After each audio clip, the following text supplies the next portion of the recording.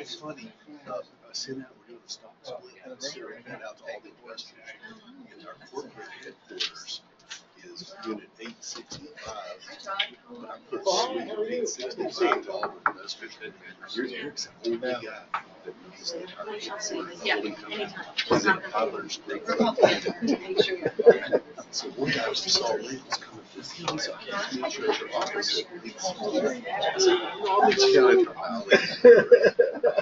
you're the only one. And I did see that, I didn't notice that. We are unmuted and we're recording. Get home.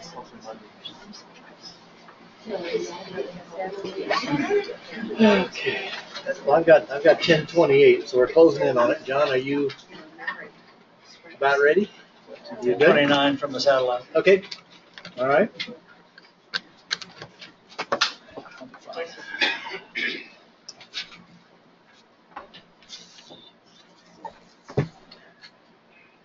Good, good morning, everyone. Can, can you hear me? I've got the, uh, the air conditioning on. It was pretty warm in here. We're trying to cool it off, but if you cannot hear, we can turn those off for a while and, uh, and then we'll see how warm it gets and we can turn them back on. But if you're, if you can hear, uh, we'll leave them on for now. I see thumbs up. Okay, let us know if for any reason, Jerry. Just speak up. All right. I don't know if we've got anything worth saying, but you know, we'll be there.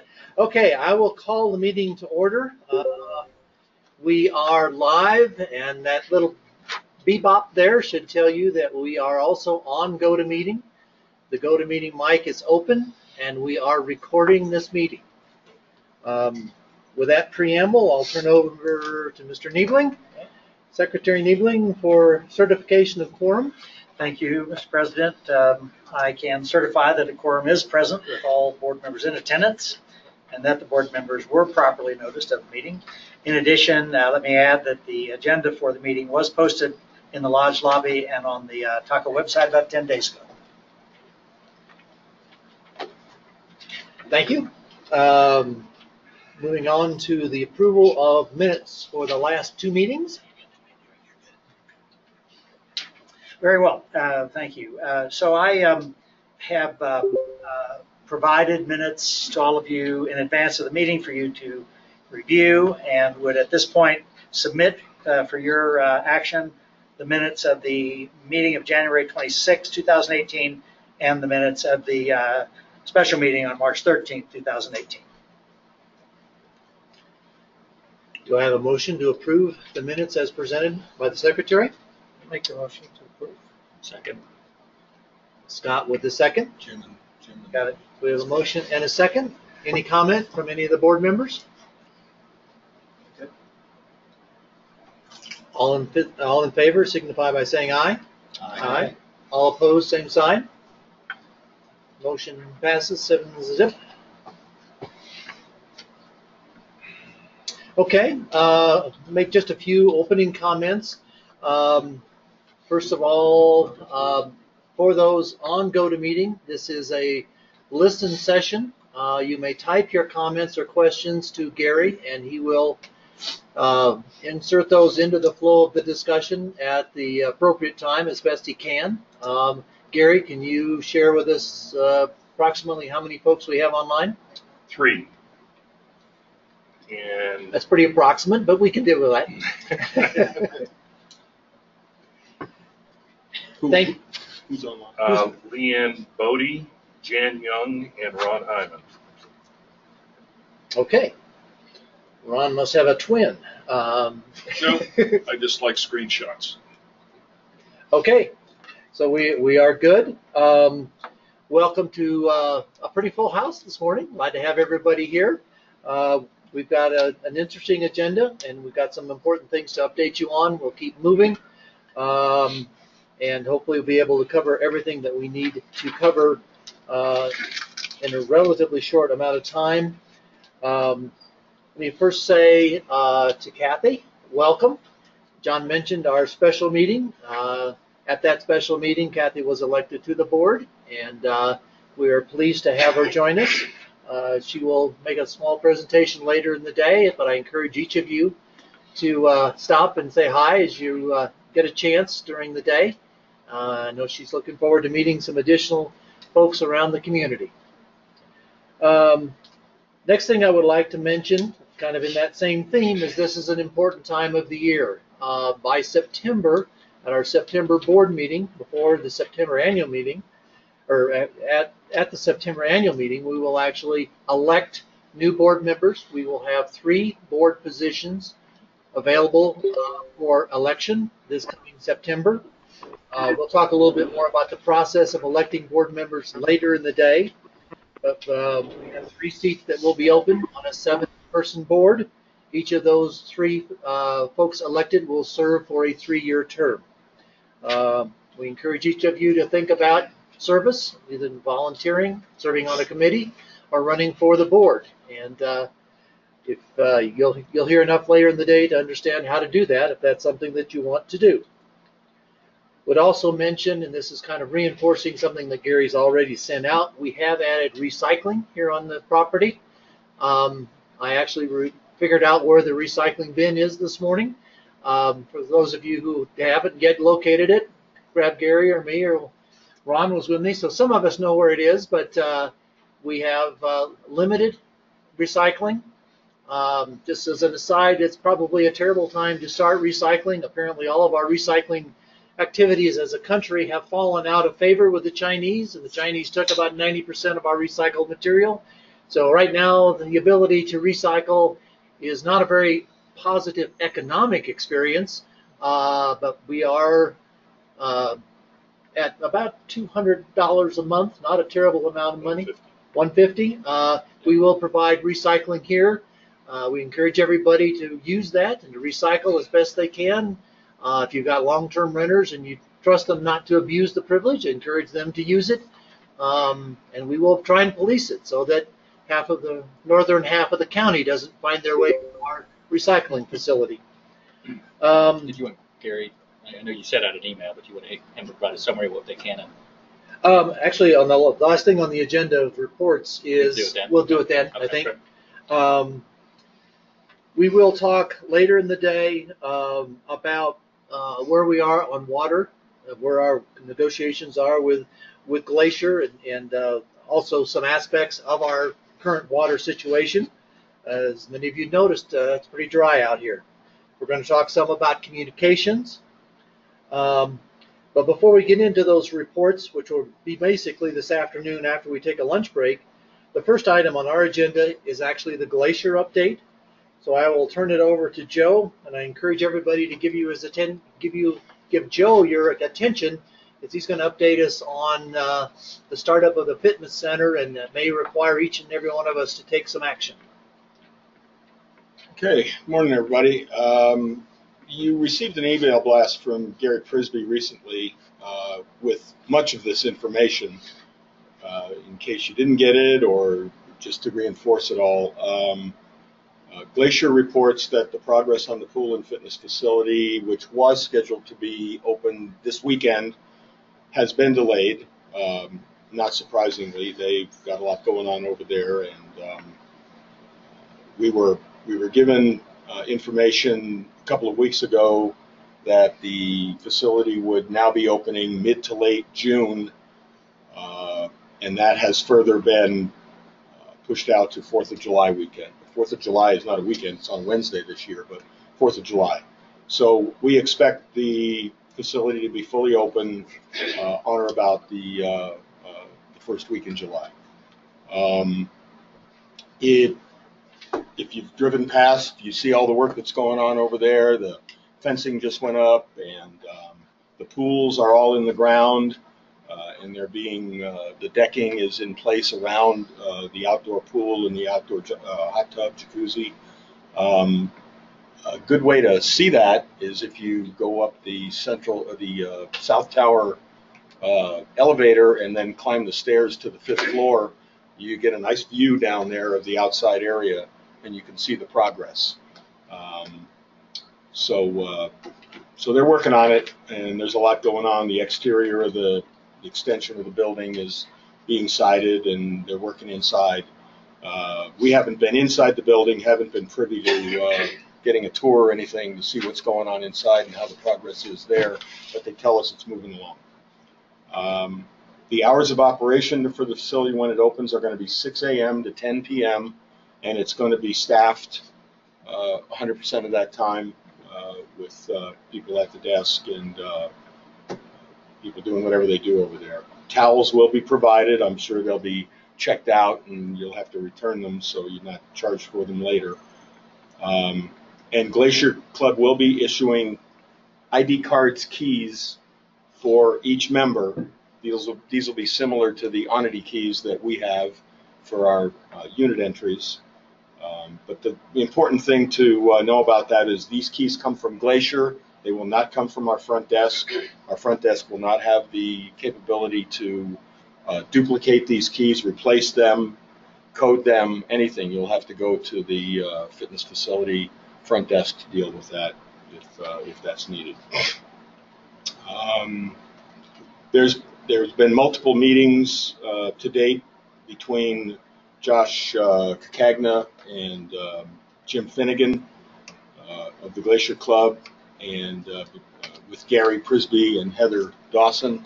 And they've been working on logistics of uh, how our owners will uh, get their memberships activated and, and how they'll get access. And uh, I guess a whole bunch of different logistics things were discussed, right, Gary? Yep. Um, Jim Finnegan tells me that based on experience, they anticipate they'll run into a few minor unanticipated operational challenges when they open. You always do when you're doing something new, and they'll learn a lot this first year. So they're asking for uh, consideration of they're they're stumbling a little bit uh, on that, so there you go. And I expect everybody's wondering when they're going to start seeing a bill for their membership dues. Uh, based on the fact that the, uh, the projected opening is on or about the first of July, uh, third quarter will be the first full billing cycle. And those bills, those uh, statements will be going out sometime next month in anticipation of opening on, uh, on or about the fourth of July. And that's all I've got. Like I said, just for anybody who might be a new owner in the last six months, Good point. um, you have any guidance as to how they might get plugged into this before startup? Well, they can go to our website. All the information on membership is there. Okay. It's on the uh, it's on the Glacier Club page, and um, if you have any uh, if you have any questions about membership, the names and phone numbers of the uh, contacts over at uh, over at Glacier are uh, are there. Are there any oh, new owners here that that haven't been exposed to this opportunity yet? Yeah. And you're uh, are you are you look do you- are you wanting to look into membership? I am. Gary's been helpful. He's provided the information. Dave's the guy you want to talk to. I've talked to him. Ken, uh, Yeah. Ken, Ken Stone works for Glacier and he's also a TACO owner. Yep, I've been, yeah, yeah. he's been helpful as well. Any other questions? Ron? A couple of logistic questions. What do you anticipate will be the methodology for our rental guests to obtain access to the uh, facility? Gary, was that discussed in your meetings with, uh, with Heather? Yeah, short term, short term, short term rental. When they check in at the front desk, Heather- Heather was here. when they check in at the front desk, they will, there's gonna be some form that gets filled out, which they then take over their first visit to the fitness facility to go to their front desk, and that's where they're gonna get their keys. Limited access key. Limited access keys, and that form will have the, the dates of their stay, et cetera, et cetera, just like when they check. They- Basically, they're gonna have to check in twice, once at our front desk and then once at their front desk. No problem. An important aspect of that is that if you are an owner who has your unit in a rental, pro- in a short-term rental program, and you have a social membership in the club facility, your rental guests will get access to the club facility and will be assessed a, a resort fee. Okay? If you do not have a social membership in the club facility and you have rental guests, they will not, under any circumstances, have access to the club facilities. Nor will they pay that. Nor will they pay the $25. resort fee. Next question. Um, Having been in retail for most of my life and dealing with parking and so forth, having been a member so far of, of Glacier, I call it Glacier Light, if that's offensive, please forgive me. Um, I immediately received a, s- a parking sticker along with my membership so that in fact Glacier could identify me as a- an automobile that was authorized to be in their parking area. Knowing that they have a hundred parking places with Valley, knowing that we have swapped some parking places for property and that they have added parking along our entranceway. Also seeing so far that their main entrance, the, certainly the shortest entrance of walking from a parking lot to the main door for the access to the fitness center is basically adjacent to our entry porta I would imagine that the general public, until they're trained, will end up parking as close as they can to that. Once the parking of the Valley Club is exhausted, I just have a feeling that they're going to be spilling over into lodge parking, which is already short. There's a lot of, there's a lot of moving parts to your question. Let me see if I can boil it down a little bit. If you live in the lodge and you're a Tamarron owner, park in the lodge parking lot, Understand that? right? If you're a Tamarron owner and you live in High Point, Pine Cone, and Gamble Oak, Also. and you want to go to the Valley Fitness Facility, park in the Valley Fitness Facility. Why not? Understand that. How about members that are not Tamarron owners and haven't received this message from you as to parking in the Valley Fitness Center? How are we protecting, what methodology have we developed to protect our parking? Do we not Well- have parking stickers? Are we not going to police parking? We, it, our agreement with Glacier, our agreement with Glacier, so you're talking about non-Tamarron owners. Well, that's the primary Yeah. person that Of course, we- any that you Tamara- can't communicate with. Any Tamarron owner can park in any Tamarron parking lot. Fully understand Period. that, but we're very So let's limited, not, as you know, so in let's not parking. talk about them, because uh, they're not, they're not. We can't stop them from parking in the Will you let- lodge. Would you please let me finish? So, we're talking about non-Tamarron owners. This would be Glacier Club members who live in the back. This would be off-property Glacier Club members. Our agreement with Glacier specifically states that the parking for those people will be in the valley parking lots only, not, in our- not in our lodge parking lot. So then, let me just get a, a, a direct answer. So we, at this time, have no plans to police or restrict anyone from parking in the, the lodge If parking we, area. if we see people parking there in our lodge parking lot that don't belong there, we'll raise the issue. Okay. We don't have a, do we have a a procedure for policing it? No. I think it's premature to be concerned about it. We can always put signage up if we feel like there's a Yeah, problem. well, we hope for their success from the, from day one, and it's middle of summer, so No, I'll bring this back to our meeting too. We got Thank you. operational meeting. Thanks for bringing it up. Okay, any, any other questions, any other items to cover relative to Glacier, Joe? Is that it? Okay, uh, next item on the agenda, um, for John, uh, to talk about the schedule of events, uh, for what we call the annual meeting week, which includes a lot of things, Yeah, and the election. and the election, including the election. And I prefer to talk about the schedule for the election first, if Okay. that's okay. Um, The, the election will be held on the day of the annual meeting. And as most of you know, uh, the annual meeting is scheduled to be held on September 7th. Um, Now, backing away from that, trying to give uh, owners uh, and the board and uh, our accountant appropriate times to uh, process ballots, et cetera, and so on and so forth. So I'm suggesting that we can start this process with a letter that goes out, a a physical letter that goes out to all owners. It will also have, we'll also have website, uh, on the website, information on the website, uh, e-blasts and so on and so forth. But basically, starting the process June 8th and sending out the, just announcing if you're interested in, in running for the board, uh, respond to this letter. Uh, You can nominate someone, you can nominate yourself. Um, we have typically asked for a, a letter of interest with a resume optional. And Unless the board wants to see that changed, that's what the letter will say. Um, And it will give, it will give, uh, anybody who's interested in running for the board, it will give them uh, a schedule of the deadlines that they have to meet to be considered. Um, And so uh, basically, in the past, we've given people about a month, so I was going to suggest that um, July 6th be the deadline. That's, that's about a month. Uh, Give people a month to respond. And those letters do have to go to Elliott Meadows. They do have to be delivered by, in other words, not postmarked, but delivered by 5 PM uh, Mountain Daylight Time on July 6th. That would be the, the schedule we would use.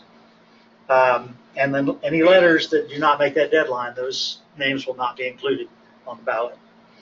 Uh, Around August 3rd, we will mail out the ballots. Just, Um, I mean, just to be clear, yeah, a letter also includes an email. Is that Yes, correct? a- An email can be, yeah, in, in our world today, an email is as good. Yep. I'm not sure a Twitter works, but uh, a tweet, I'm not sure a tweet works. Please, please don't. Um, But yeah, certainly a letter or a, a written communication. Um, And um, around August, and once we get all those in, then we collate, uh, copy and collate, work with the printer uh, to get the ballots ready and uh, work with Gary very closely on this uh, to put together uh, packets that would then go out to all owners. They would include the candidate statements and resumes, proxy forms, return envelope, official notice of the meeting, schedule uh, of annual meet, annual meeting uh, week events, and then we have included a webmaster statement. And Joe, you used to do that. Gary, are you doing that now? Are you the webmaster? now? There's the webmaster. And, and all it was was reminding people that if they had a change in their email address, to Email or physical address. yeah, that we're asking them. It's a good opportunity to ask owners to update their information. So we'll include that, assuming that Yes. you think so. Yes, sure. I'm going to suggest a deadline for mailed-in proxies of August 29th. Um, That's about a week before the election, and this gives Elisa uh, down at Elliott Meadows a chance to verify that they're legit. I mean, she's got a, she's got a list of official signatures, and she matches those signatures. We, you know, we wouldn't want anybody trying to send in a bogus proxy. Deadline for mailed-in ballots would be 5 PM uh, on September 5th. Uh, So if you're not going to attend the meeting and not going to vote at the meeting, the, you need to get your ballot in. Owners would be asked to have their ballots in on the 5th. That's two days before the meeting, and that gives, um, again, gives Elisa a little time to, to uh, work with all that mail. And then on September 7th, at the annual meeting, uh, that is the point at which the, the ballots are actually counted and the uh, election results are announced at that meeting. Now, I don't need the board to approve that as such. I mean, uh, I'm not looking, I, I don't want to put in stone that the letter has to go out this day or that day, but basically that you are in general agreement that this schedule would work. Okay, Any comments or questions? Okay. The one thing that is necessary today, as I mentioned to some of you earlier, is um, the board does need to officially designate August 7th, or excuse me, September 7th as the date of the annual meeting, since the bylaws say that the annual meeting will occur on the second Friday of September, unless the board designates another day. So to be in accord with your bylaws, the board should designate September 7th as the annual meeting day. Want me to make that motion? Does that require a motion second? That, that, that needs to be done, yes. So, John, just to be clear, we also have to deal with the new owners meeting as well, right? Does that need to be part of the motion? I would not, no, you've got more flexibility on that. Okay, so I'll make a motion that we, um, uh, that we schedule the annual owners meeting for September 7th. Uh, I don't know if we need to talk about time, but normally start about 10 a.m. It, it's actually in the bylaws to start at 10 a.m. Yeah, okay.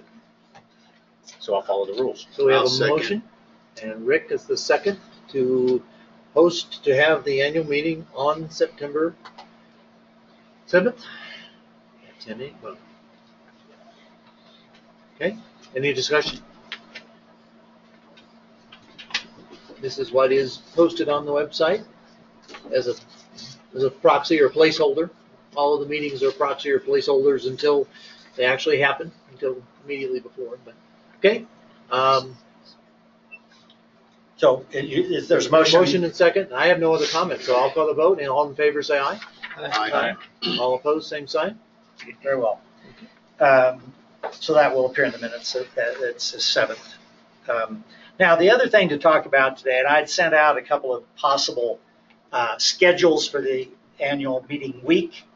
And I've had some feedback from board members uh, that the preference, as I understand it, and, and what I'd like is, you know, again, a general acknowledgement that this is what you all would like. I don't think it really requires a motion here, but as I understand it, what the board would like to see happen, uh, given the fact that the annual meeting must be, the owners' meeting must be on the 7th now, okay, that you want to have your board meeting the day before.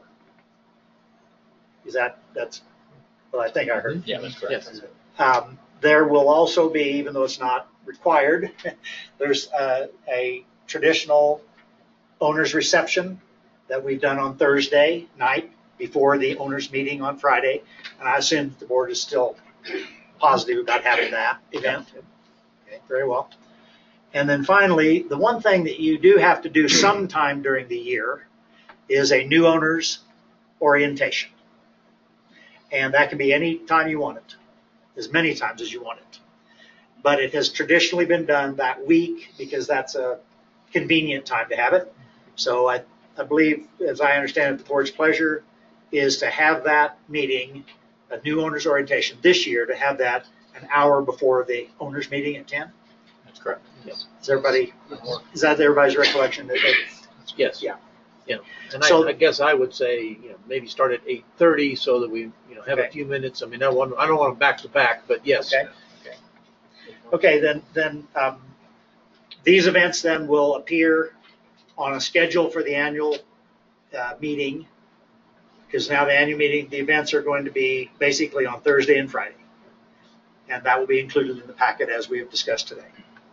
Okay, Yep. Okay, that's all I need. and just from, from a housekeeping standpoint, the annual meeting will be held across the parking lot. Good point, good point. Yeah. Um, for, as part of the agreement that we executed, uh, we have that facility forever at no cost. Uh, so the meeting will be over there. Um, we haven't talked much about a golf tournament, but we hope to host a golf tournament. You, have you had a You chat left with? out the two most important things, John. well, John's not can handling What's the those other things. one? The pairings party. Oh. Well, you want to talk a little bit about? We have typically had a pairings party on Well, I Friday asked, night. I asked John yesterday out in the parking lot, who's gonna run the golf tournament? He says, you are.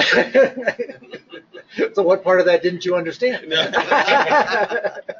So, uh, yeah, we'll be having the golf tournament again this year. It'll be on Saturday, the eighth, right?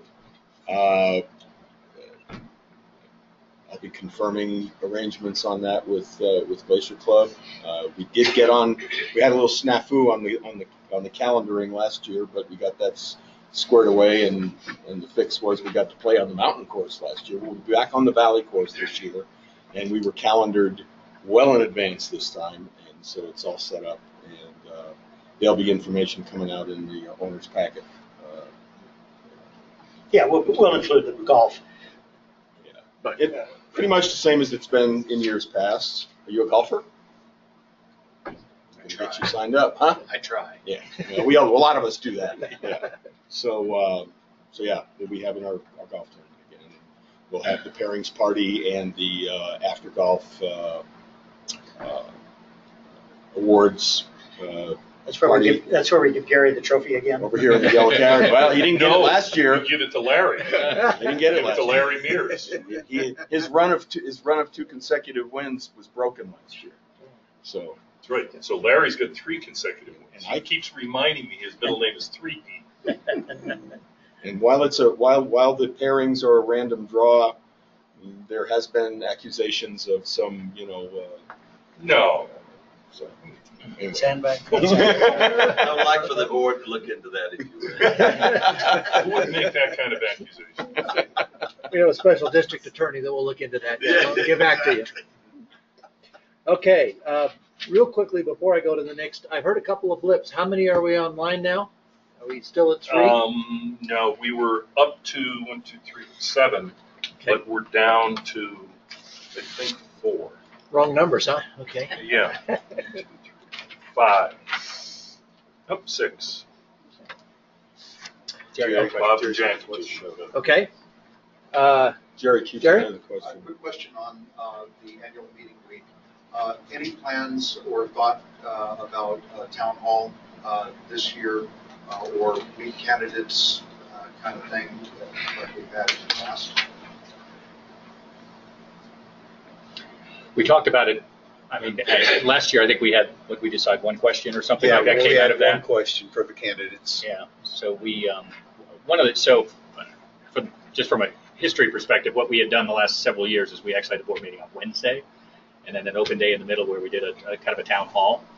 Uh, the last couple of years, those have really shrunk from an attendance and also, um, time that we were doing it perspective. Um, so we looked at it and said, why do, you know, why do we have a three-day window for the meetings, uh, and have people come in on a Wednesday, uh, for the board meeting, or typically they're sticking around because it's the holiday, uh, and kind of have a somewhat of a dead day on Thursday. So we tried to compress that. Uh, so the thought was to have the the new owners meeting uh, in the you know in the morning, and, and we could certainly talk about having a town hall as part of that if it, if they were interested in doing so. Um, I don't know. Do you have any thoughts on? it? Well, I think that's, again, the town hall, as you recall, is not a board event. The town hall is actually hosted and sponsored by the owners. Um, I would certainly be interested in maybe talking to some owners about maybe something Wednesday night.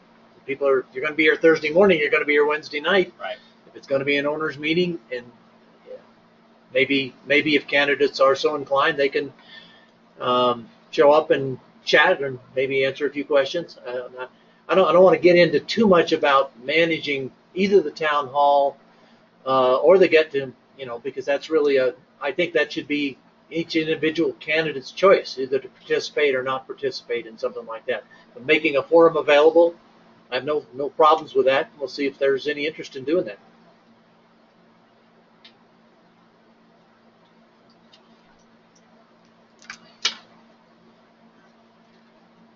Okay, next on our agenda, uh, property report and uh, the acting head of the Architectural Review Committee.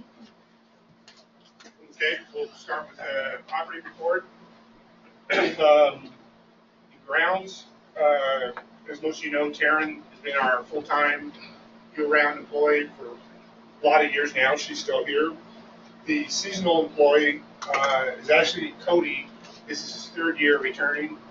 Uh, Probably his last year. He graduated from Thornton Woods this year. will probably his last summer, but he's been a great help and Mike, who works part-time, kind of filling in wherever we need him. Uh, we did just complete a water shutdown, uh, as requested by Glacier Club, so we were down for about four days. Uh, don't think it really hurt anything too much, but it did. We've been aerating. We couldn't uh, fertilize behind it because we couldn't water, but we'll get that back on track now that we can get the water on. We did purchase our own aerator instead of renting, so we can have a little more flexibility in timing and not kill ourselves off in three days trying to run all over the property. Uh, if you've been in Pinecone, you notice a few holes. We've been trying to track down a leak that got slowed up because of the water shutdown, but uh, we're hoping to track that down, repair the leak, and get all those filled in. And next week, Karen will start her flower purchases and doing all that, dollling up the place like she usually. Um, the spring heater PMs, we're just wrapping that up. Uh, Mark, Curtis, and Jesse have gone to all the units except ones requested we don't uh, check water heaters and replace uh, filters. Mailboxes, we've completed the lodge, uh, Pinecone and High Point, and Gamma is scheduled for this summer. We are, which Gary has sent out notices, considering a couple different options on that. So if you have any questions, uh, you can get a hold of Gary. Uh, otherwise, either way it goes, we're, we're hoping to complete it this summer. The backflow preventers in Pinecone and Gamble Oak, if you live there, you probably remember over the last couple of years, they've put in meters and backflows. In our investigations, we've determined the backflows that we put in really aren't the right ones for our property. So met with Glacier Club, they're gonna be installing new ones, uh, over the course of the summer. That's gonna facilitate or necessitate us shutting down water to each building periodically while they make the changeover. Uh, we will contact ahead of time before we shut the water down. It'll probably be uh nine or ten in the morning till four in the afternoon shutdown. Uh, Lodge fire pump, we've had to, we had some issues with it. Uh, we've got Odessa pump coming in next week to do some repair work on it. Uh, that will facilitate us, or once again necessitate us shutting down the fire system to the lodge. During that time, we'll be doing fire watch. We're hoping it'll only be a one-day shutdown. It may just be one day during the day, but maybe overnight. Uh, if that's the case, we'll have to continue the fire watch, uh, through the night also. It shouldn't be anything anybody notices unless there's a fire, uh, but it does have to be done. Uh, the north elevator, still scheduled for the fall. Um, we have actually started some of the background work. We pulled the furnaces that were in there out and relocated them to a different location in the room so uh, we could do the other work. Uh, met with the fire department, uh, the alarm company, and the electrician, and we're trying to complete as much of the background work as we can so we're ready in the in the fall to keep the elevator shut down as short as possible.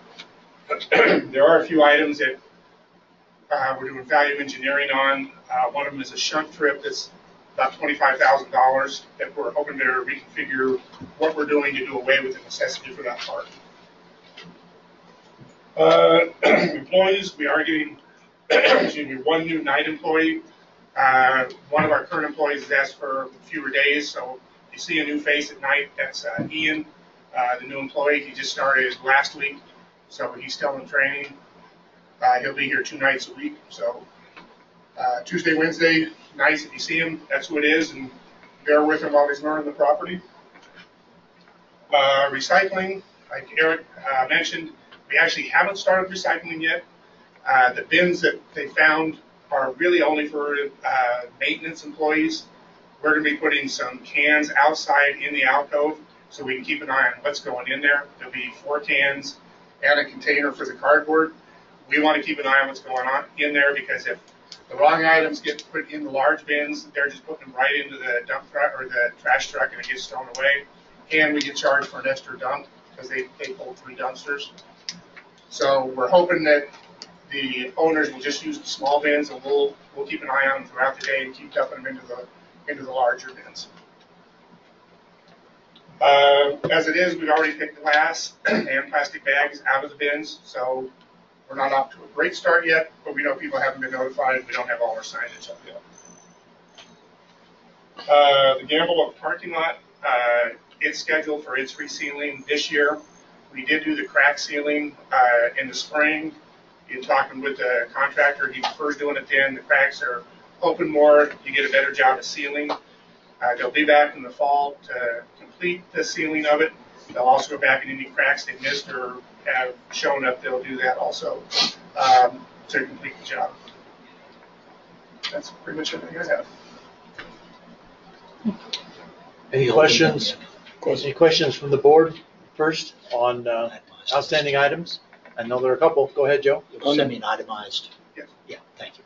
On the back, backflow preventers in Pinecone and Gamble Oak, Uh, are we talking about backflow preventers, PRVs, or both?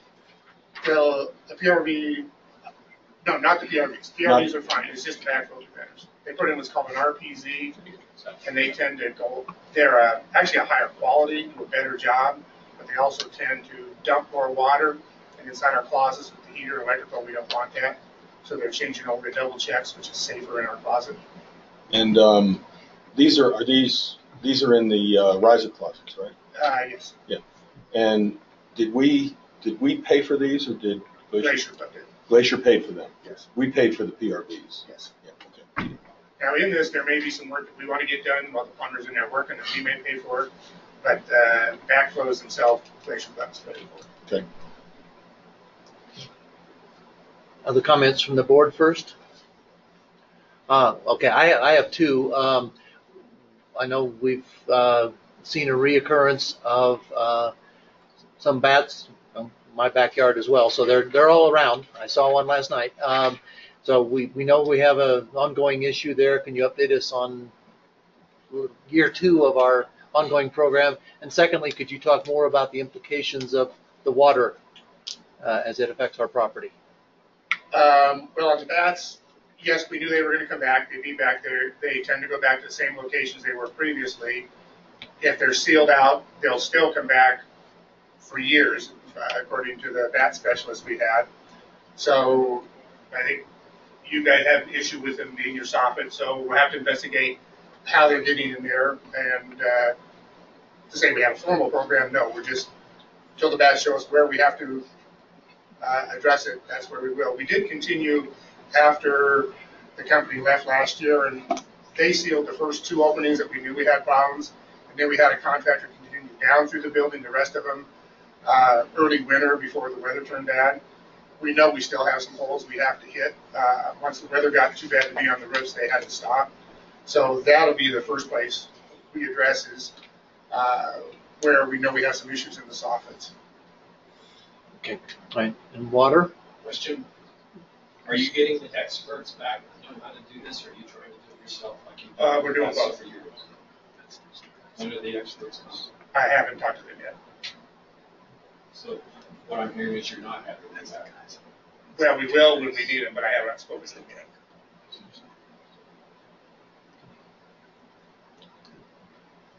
Water, We just want the board to be aware of how long this has been going on, over ten years.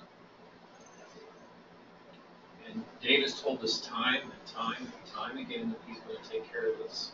And we rose a big stink last year to finally get somebody to come out here that knows how to do this. And they told us they would have to come back.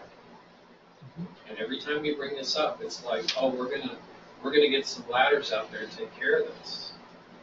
And he's, he has had no success getting this done. The experts did have some success last year.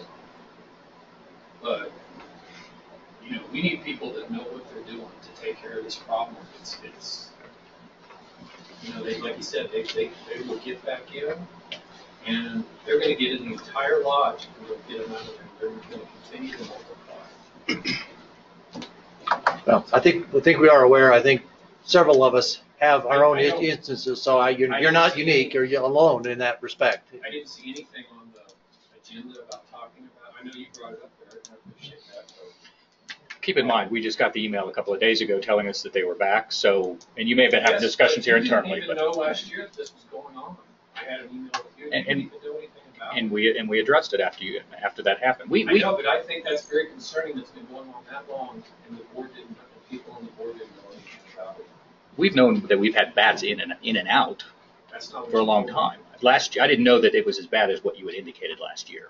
That was news to me. we're, we want to be sure the board, everyone on the board realizes the seriousness of this today.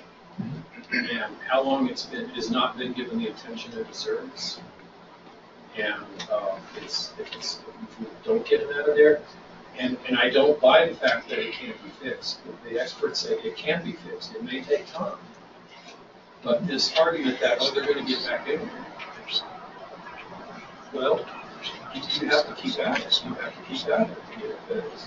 When, when we talked about it this morning, just so you know, when we, we talked about it this morning, and the discussion we had was, we knew this was a two or three year uh, process. Keep in mind, we were redoing the lodge all of last year as well. Uh, I think what, what Dave just said is he plans on getting the experts back out here as well, as, as well as trying to focus and, and identify the, you know, where they can do it, where, where they can focus and do some things as well. This isn't gonna, this isn't gonna fix itself in a year. Based on our history with Dave, he has not followed through on this.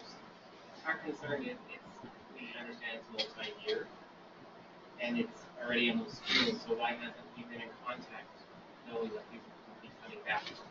Why, why, Yeah, We were told last year that that was going to happen. It sounds, from what he just says, it still sounds like he's trying to fix this himself, rather than getting experts on it, and wasting time. Yeah, we hear you. I didn't, I didn't hear I him didn't say hear that, that. No, I heard him say I both. heard- I heard that the experts were here, and then he had some other people do some, is that not what you said? Yeah, the experts identified some of the issues, of the areas of problems we had. So when they did the immediate problems, we continue, once we do the problems, with local contractors. Who don't know what they're doing. Keep in mind, he's got people on site. For those experts to come out here, they've got to come out, they've got to set up scaffolding. I mean, they can't just do that overnight. So we're going to have both, you- you- we're going to have to do them in parallel. We're going to have to have the experts get out here when they can. We can have room for them to get set up. But he's got maintenance people here that can do work as well. And they've had no success in getting rid of bats. We've had nets put up. We've had people try, they, they don't know what they're doing.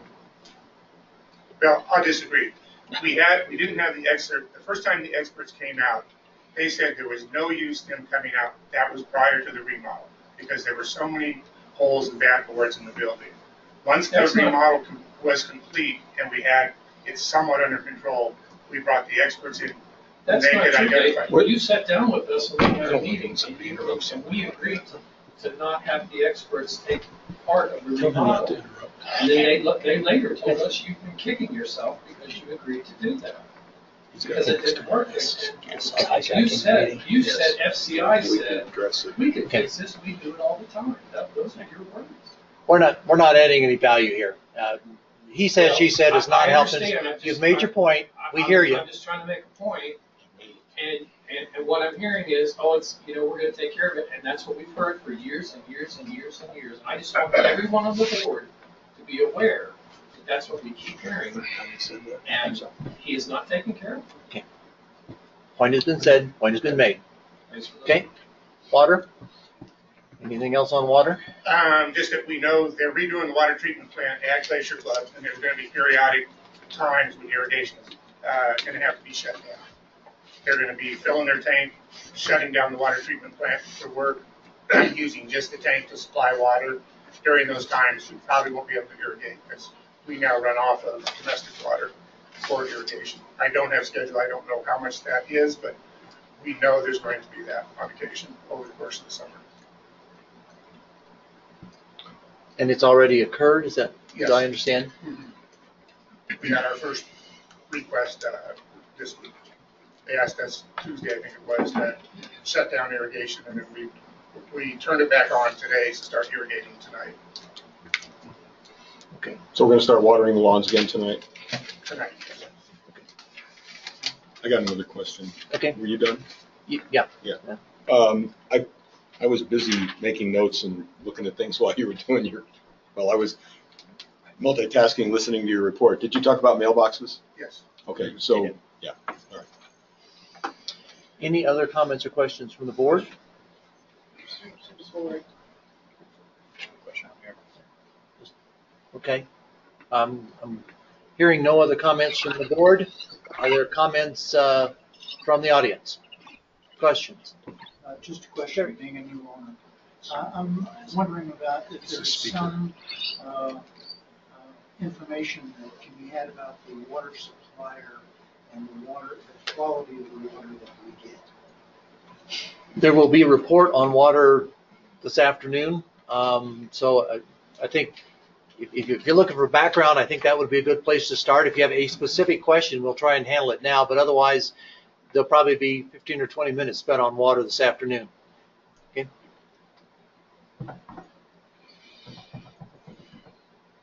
Any other questions from the audience? Any questions online? Nope. I get, Yeah, this is Gus von Bolschwing. Yes, sir. um, just, Dave talked about recycling and not using the bins that are inside the building.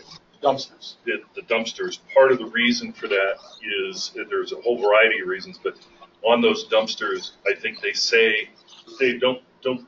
Is Dave still? Don't they say they take glass? No, it Well, says there's no. a big sign that says no glass. It says no No glass. Well, there's a big sign that says no glass, but I think on the side of the dumpster itself, when Waste Management delivered it, those dumpsters were made up when they were still taking glass, and I think it says glass. And we just want to make sure that people don't go. Can we Duct tape. just- can we We're, we're gonna, that we're gonna take that out. Yeah. But Somebody's already started using them, so. I think the message has, I think the message, I think the no glass message has been out there pretty clear. Now, some people aren't gonna hear it, but Yeah, we might need to put something in the rental units, uh, or have the, you know, a package, talk to Heather about having a reminder that goes to the renters. Because in some, like Are in we Houston, gonna- we can't give glass today. Are we gonna put, are we gonna put it out to renters too? Yeah. Uh, well, I, I think they're gonna wanna be aware of it, rather than use it. Yep. The second thing was, um, th- this happens every time we do the mailboxes. I don't know who's listening in here and, and who might, who's here from Gamble but yes, the mailboxes are mandatory. You're going to get a mailbox. If you don't have a mailbox, that's just the way it is. Every time I send out these emails that say you're gonna have a mailbox and then people get charged and three months later, why do I have to have a mailbox? You're going to have a mailbox. This is edicted by the federal, the, the post office, who is the federal Yes. government who says everybody has to have a mailbox. And we've Or been they going won't through- deliver any mail. We've been going through this for two, three years now, so. We're finally getting to the end of it. Yes, Yeah. that's the way of the world. Okay. I don't know. Any other comments? I was just curious, why no glass? They won't take it. Some recyclers don't process glass. It's no economic value. Actually, actually Phoenix, we can put glass in our recycle because in Phoenix, they'll, they'll sort the glass out and they, they have a way to deal with broken glass. I think a lot of it has to do with broken glass in the, in the stream. But, You, you uh, can take it down to the recycling center at Durango Tech Center. They will take it. Waste management won't. Okay, Dave, can we talk about architectural review? Um, I only have one item.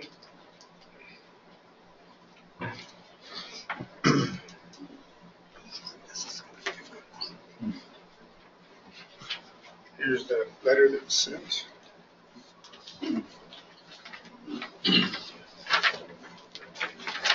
Pass them out.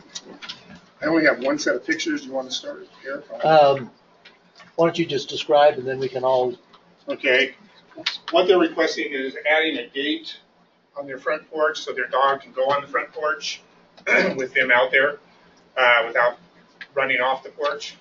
They had a gate, uh, that we have no record that it was approved. Somewhere along in the process, it disappeared on them. Uh, so they're requesting they can put it back up. The picture shows, the one color picture shows their front deck with X's where the right-hand one on the post is where it's connected and hinged. The left-hand one is at the railing, that's where, uh, where it latched. When it, it's an accordion gate, folds back out when not in use. So that's that picture. What unit are we talking about? What owner? you put- Uh, seven, Sixteen, Seven seventeen. one six. and they also refer to another gate that, that is approved and is installed on property, that's on 801, 802. So the black and white pictures show that gate. It, it's a little bit different situation, but they refer to it, so I have pictures of that also. That's those pictures. You're, you're familiar with the eight one, eight oh Go two. ahead.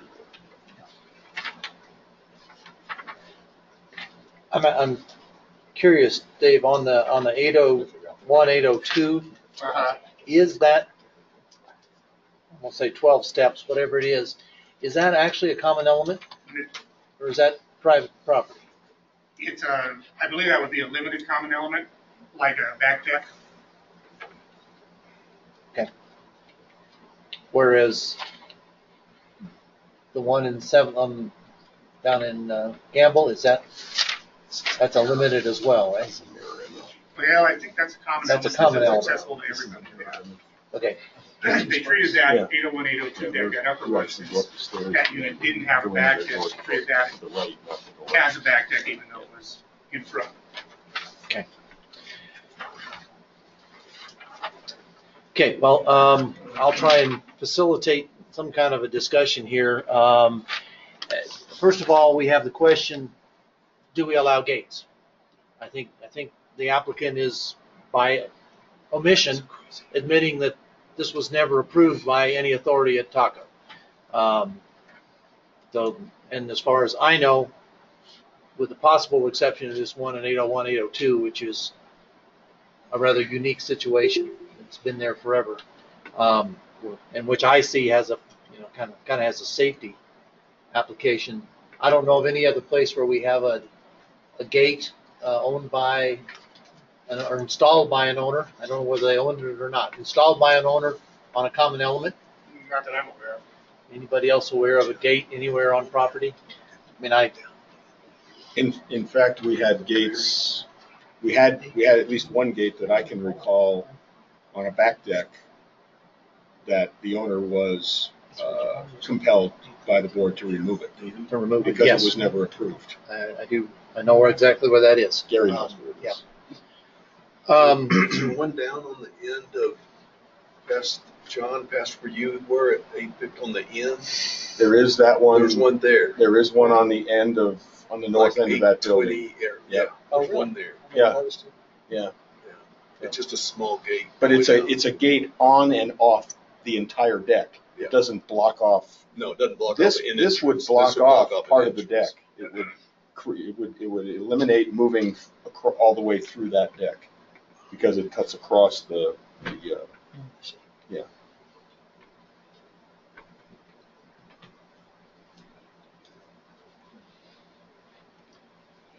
So did they install it the first time? Did they, I mean, I- I'm just reading through this letter. Eric knows the history, I think. Well, the- the history is in the letter. Well, it's in the letter, yeah. It- It's basically a friend of theirs who was a former member, board member, actually, um, who no longer resided here. He'd moved off property, but he apparently was a contractor. He and a buddy of his installed this uh, sometime back, according to the letter. I know nothing of the truth. That's only what the letter says. I can't ever remember being on that deck when it was deployed. when the thing No, I was have been. deployed. I've, You I've have seen been? it. Yeah, yeah. I've actually been well, delivering voting materials, for example. And it I- was I- up. It was up. Yeah.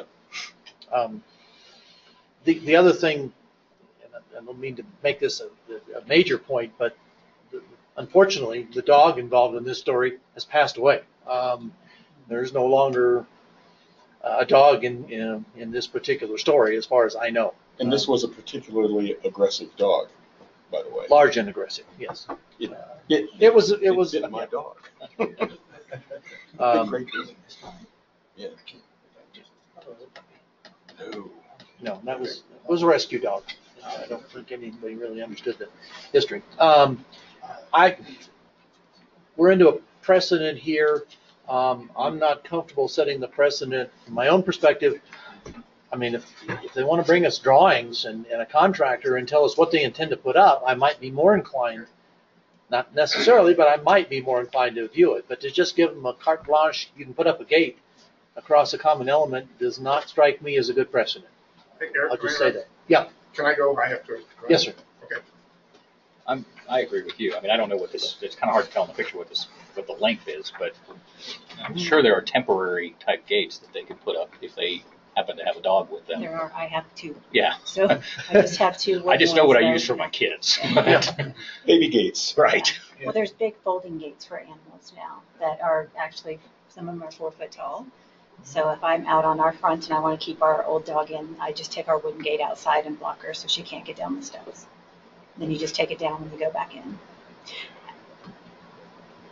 I do have one concern, and, and only, they do mention that, you know, they have, you know, their deck is, they're, they're, they're the only ones there. The problem is, is you're gonna get into individuals who wouldn't have that luxury, and that's where it starts to get a little bit See, their, their stairway is, is, is a common stairway, not unlike yours. right? It'd be like my stairway, Mhm. where if I put a gate across that, then my neighbor couldn't get to his unit. Right. Or he couldn't walk across, Right. you know, through that. So I think that's, there's a difference there too. Yeah. I'm just concerned we start this, where it's just gonna It, go be, crazy, be, you know? be careful of the precedent you set. Yeah, I just, it's, You'll have to warrant who wants gates open, who wants gates Yeah. closed. Yeah, I, I mean, if we're, I mean, I, I know there probably could be a case made for not even allowing what you do, but if you put it up and it's up there for an hour or two and you take it down and take it back in your house, you know, I think people tend to look the other way. But something that's permanently attached to the building, that's, you know. Yeah. Got a comment, Gary? But I think it's in the rules and regs that those, even the temporary gates can't be put up Probably, it probably is. I'm pretty sure it's, it's in the, you know, uh, gates for pets and kids you can't put up. I'm pretty sure that's in the rules and regs.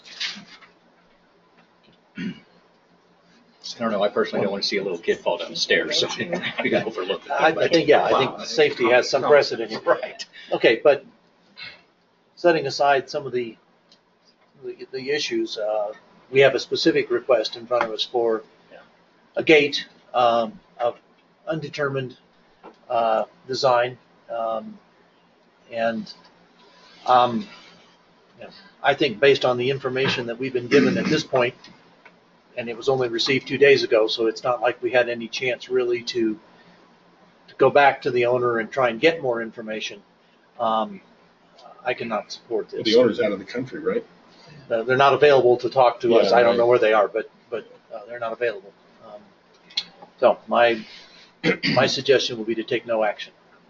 I agree. Okay, you're not, you're not gonna take an action then? That's correct. All right. That Makes the minutes easier.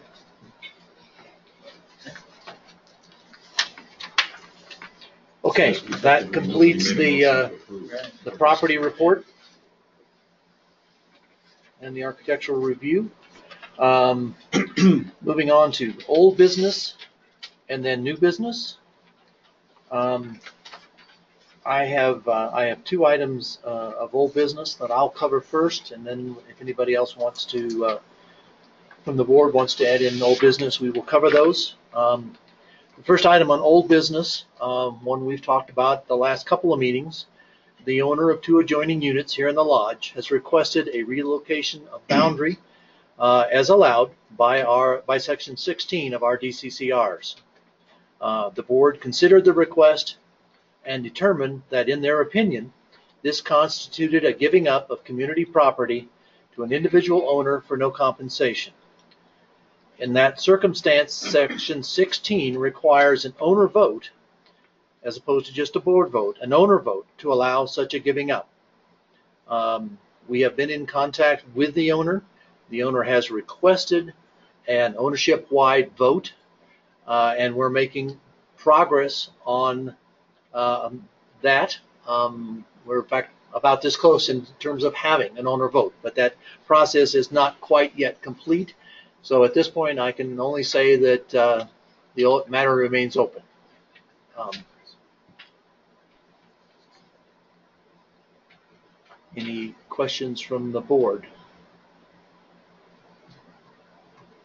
I, I guess I would add further, I expect it to be resolved one way or another within the next couple of weeks, but I don't have a definitive answer today. Um, The second um, item of old business was actually one that was submitted by an owner to me. Um, A lodge owner and a dog owner uh, has complained about the lack of a poop station on the north end of the property. It Says that I don't live in the lodge, but apparently a lot of dog owners like to take their um, dogs up to the north end to what I'll call Frisbee territory. The, the, uh, Gary Gary was the first to suggest that we might want to own that property. Little did we know it was going to be a dog site.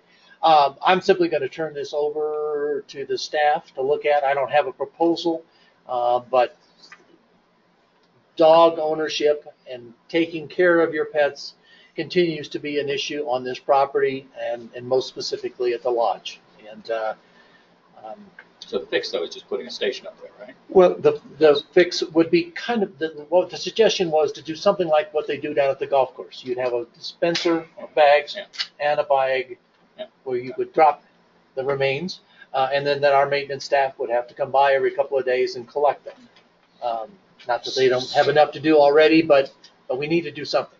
So the, so the bag station, the bag dispenser at the, at the walkway going up to that area. Further up the hill, yes. And then the trash And then there's a cans out can. in, in front of the building are not sufficient? the, the thought is that dog owners are lazy, and that's what the email said, and this is a dog owner, so I, you know, that, to make it, the easier you make it for a dog owner, the more likely they are to comply, and there is some, so, um, so you move, you essentially move that one up to right next to the stand with the bags. You put the two, two again, and so, that, that's the only other item I have of old business. Is- Is there any other old business to be nominated by the board? Fair enough. Any old business from the audience? Ron? Yes, returning to the issue of the uh, consolidation request, um, and we'll put this request in writing, but I wanted to, to throw it out on the table this morning. Uh, I understand that, that, as you've said, nearly everything is in order for a ballot. Um, I believe that, that uh, Ken and our attorney has, um, have identified the language that you all will accept for the ballot and the accompanying uh, uh, letter of explanation. We provided the most recent plat so that there's no misunderstanding as to what wall is involved between our two units.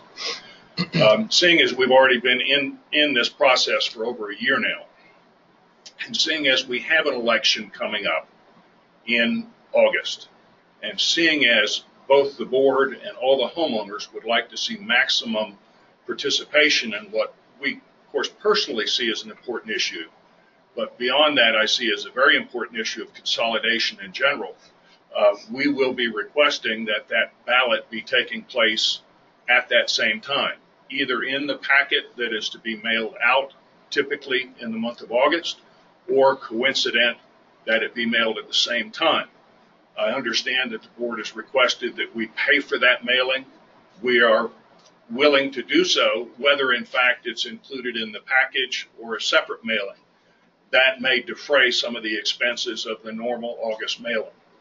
So that's what I would like to, to throw on the table for your consideration. We'll be putting that request in writing. Okay. Okay. We'll, we'll deal with that, um, when we see the, see the, re- the request. Okay. We'll say, yeah, I'll, I'll stop there at this point. Okay, um, any other old business from the audience? Any other old business, Gary, online? Can I Too late. comment on, on that dog thing?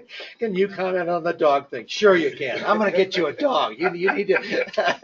That's the last thing I need right now. Um, but it, what everybody needs to remember is if you do put some sort of receptacle up there, people are gonna put all kinds of stuff in it. They're just gonna put stuff in it. We've already had a request for a bin to, to go up next to the, the, the barbecue so that people can throw their stuff in there.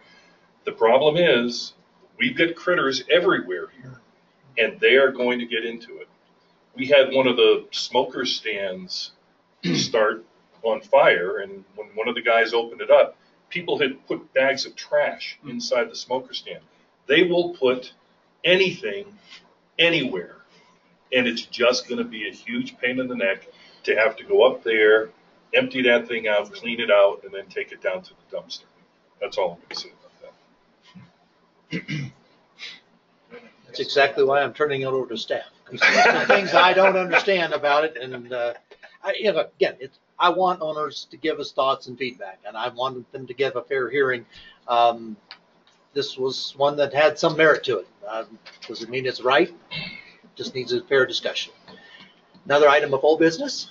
Well, I was just um, wondering, I thought last year they were talking about maybe putting a gazebo in that spot.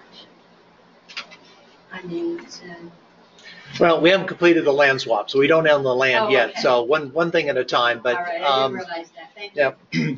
We're waiting for a, a big benefactor to give us some funds so we can. Um, we do have some interesting ideas for that property. I don't mean to diminish that, but we're probably a year ahead of ourselves Okay. in terms of that. Okay, uh, last call. Any other old business? Okay, any new business from the board? Mr. Carey? I have one. Uh, When I give the financial report later on, you're going to see that there's some money left over from the lodge remodel project that has remained unspent. And um, I talked to Dave about it, and we have pretty much completed all the, all the projects that were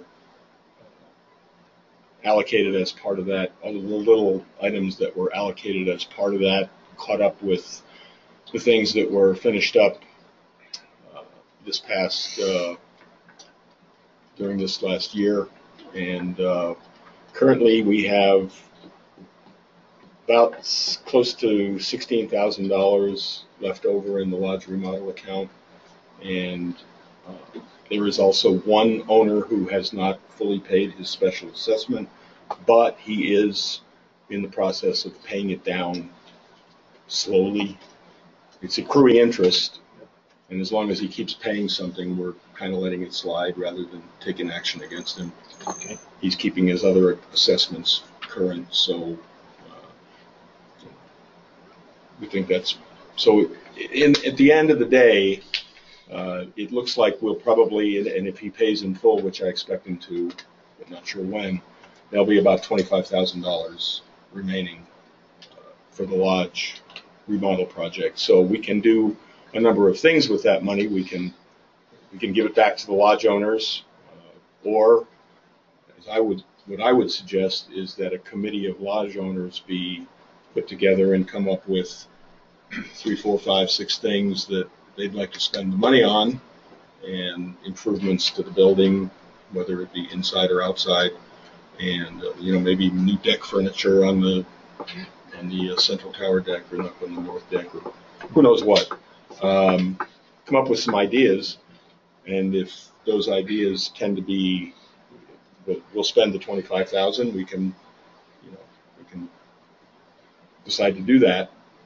If we come up with too many ideas that spend more than twenty-five thousand, we can put it out to the owners for a survey and, and ask them what they'd like to have to spend their money on. Because it is, it is the lodge owner's money. So, Well, yes, I would, s- I would certainly support the majority of the group so being the- so from the- lodge the Money owners. should get spent there. Yeah. It's here. in this- Well, On yeah. building. So All of us that's my contributed suggestion. That's my suggestion. Yes, we did. two hundred thousand, so maybe one person from the community, but I agree, the majority should be lodge. But, um, I think that's a great idea. Um, uh, would anyone on the board like to make a motion? We form a committee? I'll make the motion. I'll second. Okay. A motion and a second to uh, have a committee to look into uh, investing approximately twenty-five thousand dollars in improvements to the lodge. All in favor, say aye. Aye. Opposed, same sign. Okay. We're looking for volunteers. Uh, Not just, uh, let me know, talk to me or talk to Joe or uh, any of the board members. Um, I think this is something that can be done this year. I don't see any reason not Oh, yeah. to sit on this. The Let's get it project's spent done. and get it off the books. That's And, what I uh, see. Yeah. So, and even if you don't want to be on the committee, but you've got an idea, uh, email works, drop us a line, let us know what you're thinking. All right, thank you.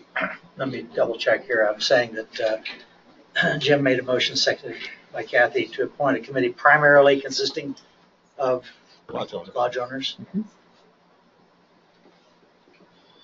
Uh, To make recommendations. Right. Or improvements in the, the lodge and area, adjoining area, adjacent area, whatever you want to say. Quick question. One, I got Spending the leftover. uh, in the mail this week, Special uh, I assessment guess a required notification of this, the land swap that we're doing. Mm-hmm. Um, How long does that process take? I mean, you said mentioned a year, but is it, It, well. uh, is there a it should- required timeline that we are following? And, because obviously the transfer is just a recordation of a deed. Well, it's turned out to be way, way more complicated than I thought, and ninety percent of the delay is on Glacier's side. They're not waiting for us. I mean, they waited maybe ten days for our signatures because we weren't in town. Yeah. But it, and, I, and I don't think it's held up anything. Um, but it's taken way longer than I understood, and our attorney's done ninety percent of it. To be honest, I just sign when it comes to me. For those of you, as a way of background, when we did the agreement uh, to um, offer memberships, voluntary memberships to TACO um, through Glacier. A part of that major agreement was, uh, one provision of it was a land swap. We have a couple of parking spaces that they were interested in having to support their offices, uh, which will be below the workout, the fitness center. In exchange, we got about a third of an acre, as I recall, on the hill uh, to the north. And that's just just moving along based on bureaucracy more than anything, or not moving along. But there's been no hitch. There's no reason why it won't get It'll get done. resolved It's at some just- point. yeah. Yeah. But anything you, anything you do that involves a government entity, it takes more time. Yeah. And they're, they're as frustrated as we are. It's, it's been with the county. Um, okay, uh, one other item of new business. Oh, I'm sorry. Relative to the parking places that we're swapping and relative to the additional parking places that are facing south that are being designated, they have some facing south and then some facing east. Those parking places are accessible only off of TACO property. Do we have an exist, It's not TACO property. It's It's not TACO TACO easement, but it's not TACO property. We do not own the road. I understand we don't own the road that approaches up from Tamarron Drive. But once you get to the top of that hill, our property line is at the, is at the back of those parking places. They will be accessing the parking places that face the south only off of TACO property. That's where the, eas- that's where the Easement. access easement comes in. Do we have a cross easement agreement for them to access? Is it in place? That's in process. It's in process. It's As not. part of the land swap? Yes. Okay, thank you. Part of, it's in process. Yeah. And likewise, we actually will come up across their property to get under the etagere to get in our And building. we have been And it's cross since easement. the building of the lodge. So your, your, your comment, cross easement, was absolutely correct. Yep. Okay. Um, one other item, and again, I'm going to turn this over to staff, but I make this, uh, for everybody who's, particularly the owners in the, in the lodge, an owner has requested that we move the smoking area from the north patio on this end of the building where we have space and open air and cooking and smoking and, and move that to the east and say, and the reason they say that is because there's kids and there's food served on the north end, and that's not a good area for smoking. Again, I'm not, I'm looking for feedback to the staff, not today. I just let you know that one owner thinks that's a good idea, and uh, we're going to try and solicit some feedback from other people, particularly people who use that facility or live in the lodge. What's the east patio? Right off this common area. Right. The new- the new one they just built, Okay. where the big sign that says no smoking today. Yeah, I, I just, I guess I hadn't noticed. Yeah. It's not, but it, they, it, they can't, can they get through it from the outside? Or they have to come through the building? They have to come through the building. Okay, that's what I Yeah. thought, okay. And it's within 15 feet of an entrance, which is Yeah. illegal. Mm, I Yeah, I don't think guess any part of almost that all of it. patio is within 50, was, I- I'd have to get my tape measure, but you're You're right. talking about the certainly central tower back That deck? was, that was the suggest- suggestion, Yeah. yeah. Oh, that's a good- I don't like the idea of the I- cigarette I- butts going. I'm not, Yeah.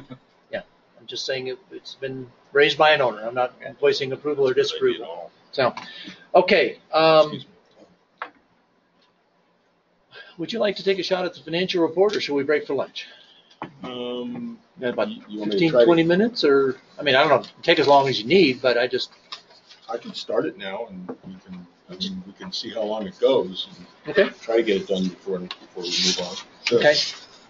So, so we're gonna go ahead and do, uh, the financial report and then we'll take a break for lunch. So, Uh, Gary, would you, um, I'm not gonna be able to see this, would you put the, the PDF that I sent you of the financial reports up there? Uh, and then I'll just have to trust that you're paging through it at the same rate that I'm looking at my, my hard copy. Are there, oh, you know what? No, we, I told Sandy Elliott's gonna be here for this and I. oh, okay, all right. I told her after lunch. Okay. So I'd like to hold off. We want to skip ahead and do a couple of these other ones now? Um, yeah, but why don't we, why don't we drop to, those could be more complicated. You want to do, why don't you do one and Kathy can do the restaurant Well, I report? need, I need, I need Heather here for this one. Okay, all right. So we have to wait on that. You want to talk a little bit about restaurant? Sure, sure. So uh, with the, the restaurant, with the Yellow Carrot, and um, I am not, I have not been a long owner of here in Tamarron, only a couple of years, but was, um, we had just purchased when the Yellow Carrot had opened. And there was a pre, there was a survey that had been sent out by Joe several years ago with regard to, you know, what were we looking for in a restaurant, etc. As we've been now open for well over a year, part of the discussion that we've had amongst the board, and Gary and I have worked together, is the, the satisfaction that we have as owners with regard to the restaurants. And do we feel um, that we're, we're happy with the services? So in discussion, um, we're contemplating sending another post survey out to the owners to determine are the needs being met? You know, so with regard to quality of food, quality of the restaurant, the hours of operation, et cetera. So we're looking to have that survey and would love to hear feedback from you all if you feel like that would be something of interest. Um, the board did feel that um, we felt it would be a good thing to send out because again, you know, to get the, um, to me, everything is about communication. We can't make change if we don't have appropriate uh, communication. So with that, we would like to determine, you know, as you're here in the room, would you feel that a follow-up survey would be appropriate? And then communicating back to the owner of the Yellow Carrot. Yes, sir. Has uh, the lessee expressed any interest in receiving input? No. I would say you're wasting your time. Wasting our time. Well, I think, and I, I, I, I, I hear you and I understand and appreciate that. I just, you know, I, We have We no control over them. right, but if we don't provide appropriate communication, is that, is that effective either? So I look at it as if we can, if we can provide that communication back to her and she's not willing to change, then we've made, we've noted what we felt. And she can do with what, you know, what she, what she feels, but she has a contract as well.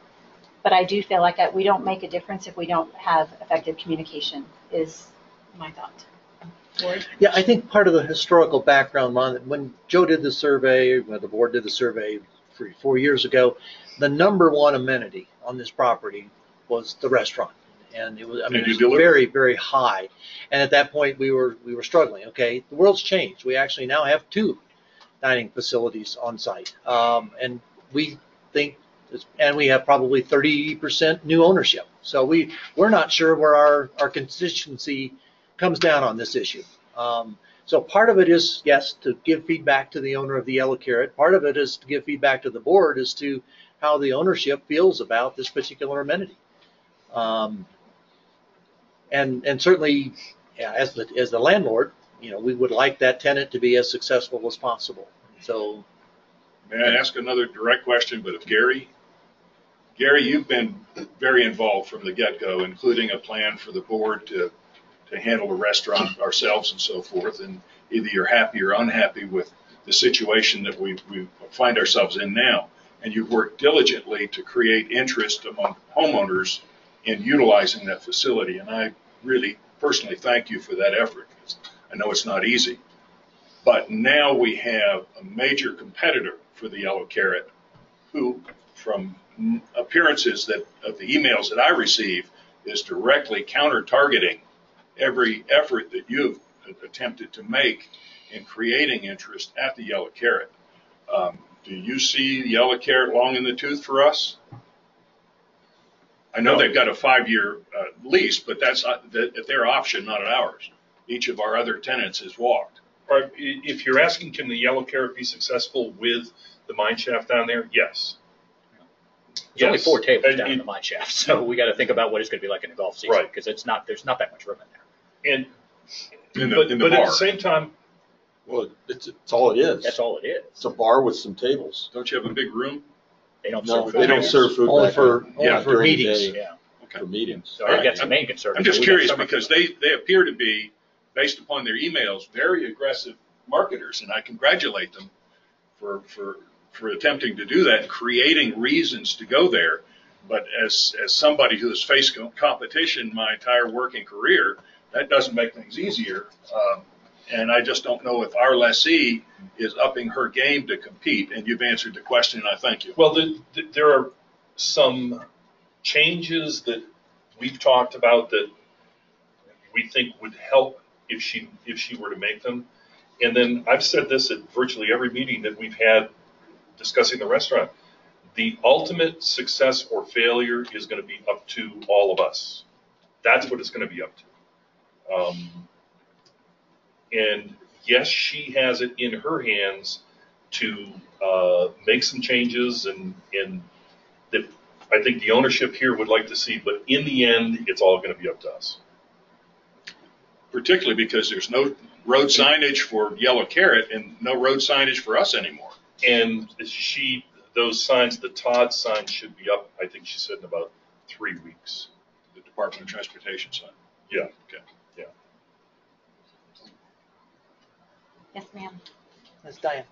Um, I live here full time. Um, oh, I'm sorry, Diane, eight two six Pine Cove. Um, I think uh, when we first started this restaurant venture, there was talk that she'd be open at lunch, that all these things were gonna happen. What I have seen is it narrowing services, uh, inconsistent food, and not listening to what people would like to have on the menu. That's all part of trying to compete with the mine shaft. I personally use the mine shaft because I like the food better. I think that's the reason for the survey. I mean, is the greatest issue that that restaurant Right. Yeah. And thank you, Diane, for that. Um, absolutely. And I think that's where it becomes very effective to get, you know, because you can say something, I can say something, Michelle, we can all say something, but if we have larger numbers, then it's more effective to go back to her to say, here is the consensus. Yeah. You know, we had the result of X amount of owners. Um, this is what the expectation or this is what we're looking for. Also you can use it. But my other question is, she is opening a new restaurant in town. She has new management here. I've seen it work or not work. I kind of feel like we're getting the short end of the stick. All those promises, oh, we'll, we'll have dinner and then we'll open for lunch. The only place you can get lunch or anything before five or five thirty is the lunch. Diane, I think for the record, that's exactly the way we all feel, and that's why we want to do the survey. That's why we want to reach out. She wasn't open spring break. Yeah. And we had all these people here spring break, and she didn't open until Wednesday, which half the week was over at that point because you know a lot of people came in the Saturday before, the Friday before. Um, she needs to hear it, but she doesn't need to hear it just from the board. We want to get owners' uh, indication of what their preferences are. I mean, we allowed her to pick Wednesday to Sunday. I think I don't know if we allowed her if that was her suggestion. Um, I don't know that that was the right choice, but I think we need to get the owners to chime in. And, and she's got to serve. I mean, this we're her primary customers. She sold a bill of goods and said she had all these North County customers and she was going to get them all in here. Well, I don't see a lot of outsiders coming in. So Well, and going to Gary's comment about it's up to all of us, I tried to support that restaurant. But the food and the inconsistency is my main problem. And I think that's why a survey would be really good. I think the other aspect about a survey is you will certainly garner some complaints, but hopefully it'll also garner some opportunities for improvement. And, and, and that's what we're really trying to do is, is not to send a message that she's doing poorly, but that there's an opportunity for even more business if she's uh, willing to work on these particular areas. And we want a broad-based reflection of what those areas should be. It's the next step. Yep. And, and Diane, I don't want anybody to misconstrue my statement about it being up to us. I don't expect anybody to go in there if they're not happy with either the food, the service, the price, whatever. The, the best way that you, that you exercise your opinion is by not spending your money somewhere. I mean, that's, that, that- that's the way that, that, that you exercise that the best. And if, if she's not gonna make certain changes that, that, you know, Kathy and I suggest to her that, that we get from, from, uh, the ownership, so be it. I mean, well, let me ask you this. So be it. Does that mean we're locked in five year contract? Does she have all the power? Or can we say, well, you're not serving us? we're never locked into anything. But I mean, I think to the point, she's opening a restaurant downtown. We don't know what that means. I mean, is that going to hurt us? Probably. Um, I mean, she's never here already, as from what I can see. I mean, you can tell me better than me, but Or, or from a positive perspective, maybe it makes her better at running a, a restaurant business and she sees to where she can see success, success on both sides. So again, you don't know. We don't know what we don't know until we ask the questions. I always say, don't ask, don't get. So if we don't provide the feedback, we don't get anywhere. Um, all it can, it, it can't posit, it can't hurt us, obviously. It can only help us is the way I look at it. And we do have an opportunity to keep in mind that there's only four tables downstairs or down at the, the, the, the mine shaft. So if we start getting a lot of traffic up here, she really could see an incremental pickup in business, but we need to understand what those hours need to look like. I mean, maybe she should be open for lunch. We got a bunch of golfers here, come, you know, finishing a morning round or coming in before they go off. She may see a good opportunity, but right now she's not even open. They have that gorgeous deck. Yeah. And, as far as the specific, the fact that she's, I don't know whether she's moving across the street or just expanding, but she's already a multi, uh, site operator. She already serves at, at Mercury Building. She already has a catering business. So I think one more site in and of itself doesn't cause me any great consternation. She's demonstrated that she can manage multiple sites for the last 10 years or so that she's been in Durango. Uh, I don't think we should be concerned specifically about the fact that she's either moving across the street or opening a new business. What we need to do is get her attention so that she focuses a little more on providing service to the needs of this community. You have Do you have a question? Uh, well, I just wanted to point out that since it's, the restaurants are an amenity to Tamarron, uh, it's important that we have the best restaurants to serve us and anybody else that, that comes to a resort to, to enjoy themselves. Um, I am absolutely in favor of the survey. Uh, and just as a, a aside, it seems to me that nobody's serving breakfast. And breakfast isn't a big money maker, but it brings people in, and you don't have to have a lot of um, uh, labor uh, to to handle a breakfast crowd.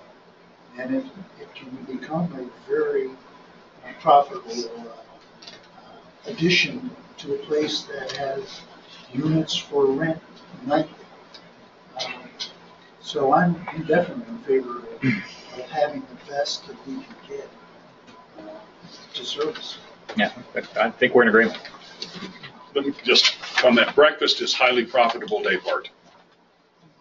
Not a break even kind of thing, it's highly profitable. Um, To add to what this gentleman said, you know, we are a hotel kind of operation and we have a lot of visitors and tourists. And her menu is rather exotic. And I often think if I had three kids coming in here who wanted hamburgers, you know, it's not being provided. And I feel that the restaurant at Tamarron should cater in part to these visitors. I and their I think you children. nailed it. You know, hamburgers We all and feel that fries, we, we may, we old people may not be eating those, but the young kids are eating that. We probably shouldn't be eating those, but we are. And and hence the reason for the service. Take our cue from the president and his diet, but, um.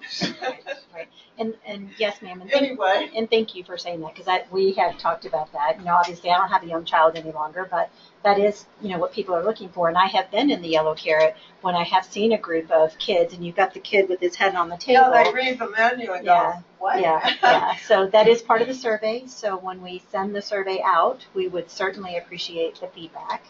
Um, and constructive feedback. You know, we, we all know what we know already, but we really are looking for constructive feedback and honesty as to what can we take forward to make this a better um, experience for all of us. I of think us. breakfast is a great Yes, idea during tourist season. I think the Mine Shaft has breakfast burritos, or had heard that at one point in time. Yeah, Ken, is the, is the mine shaft serving breakfast? I Just thought they grab and go right now. Grab and go? I don't know if their plans are going. One, of the things that we have talked about, and I suggested this to Sarah uh, a long time before she even opened, is, is to have one person come up with breakfast burritos, bring up 20, 30, 40, I, whatever it takes, 20, 30, 40 um, pre-made breakfast burritos or you know, breakfast sandwiches and serve, serve coffee, coffee and juice. One person, you section off part of the, part of the restaurant. And it would be, it wouldn't be very labor intensive. It's already made down there. That suggestion hasn't gone very far yet. And that's something that I think will probably be, something to that effect will be in the survey. And Kathy and I will talk with her about that at some point, after we get the results of the survey. Before we had this restaurant and the other one, uh, we had a nice deli in that room. And people could order something like a burrito or something to go if they were on the run, on the road. And I thought that was very successful for this kind of a hotel, you know. It wasn't. Mm-hmm. It wasn't. Uh, It DM, wasn't. DMR, Ken, when you were working for DMR, they were running that deli and it, Right. it never made money. Well, that was a long time ago. I. Well, and Yeah, it was a great, I was a great place to eat, but I, I'm afraid it was not a financial success. And of course, that was coming out of somebody else's pocket, so it was good for TACO. I'm not saying it was ever, I'm not saying it was run, I mean, there were limitations on what you could do in there. and- But it just didn't go. Okay. Well, I think, think you've got some, some feedback. I think just the fact that we've burned through fifteen or twenty minutes tells you it's still an interest, uh, item of interest and, and one we can, and we can potentially improve on for the overall enjoyment of our community. Uh, I'm thrilled to have two restaurants and I wish they were, wish them both success. Um, no question about it. When do you expect to have the survey drafted? We have questions already um, drafted. We did get feedback amongst the board, so we'll just be refining that and get with you. We have our Survey Monkey subscription and it works really well. It does. Yep. Thank you all. With that, I think the board will, uh, will take uh, a break for an executive session, uh, but we will reconvene uh, as best we can promptly at 1 o'clock. Uh, We've got some reports to get through this afternoon. These are all good things, and we'll see you in about 55 minutes. Yeah, we are, yeah.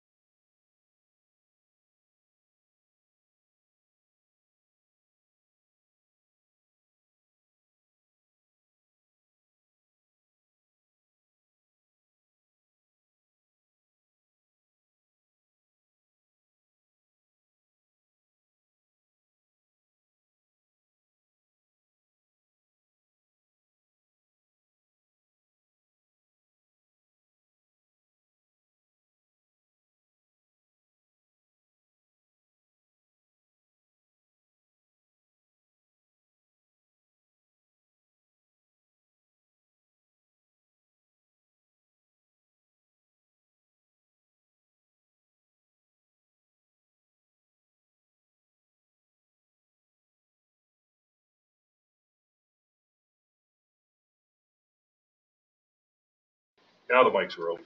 Thank you. Um, We are returning from executive session. Uh, No decisions were taken. Thank you. No actions were taken. Um, Gary, how many do we have online at this point? Is it still the Um, same group, more or less?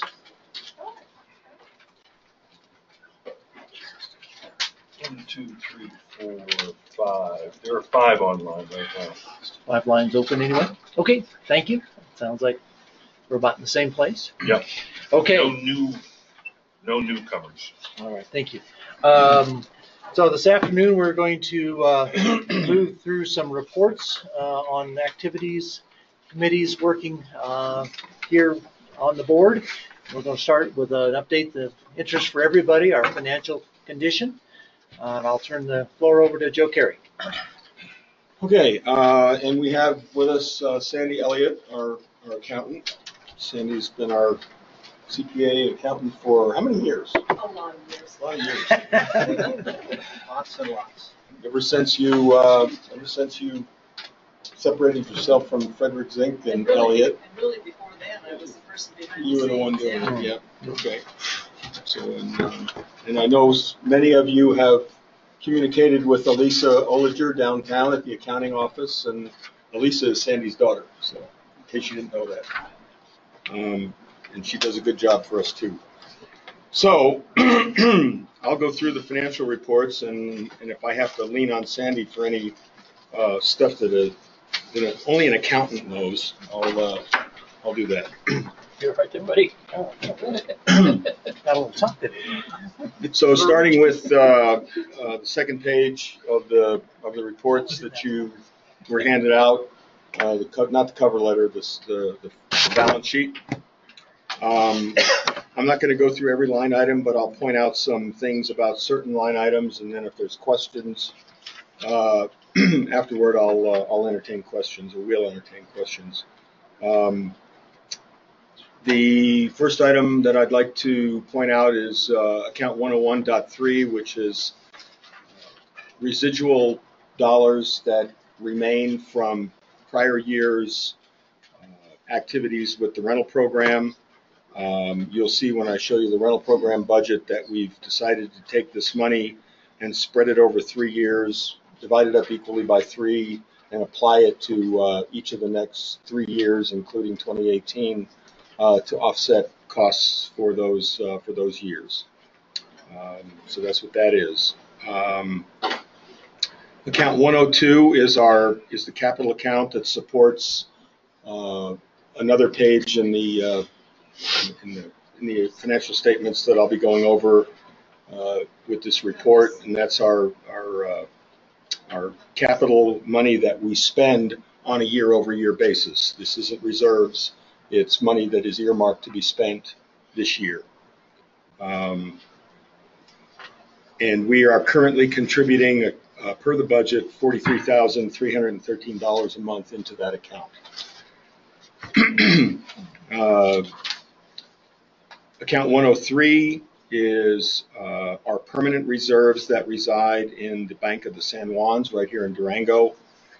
Um, and I'll be talking about how we're allocating our reserves and how that balance will be changing soon uh, when I give a report on reserves directly following this, uh, this financials report.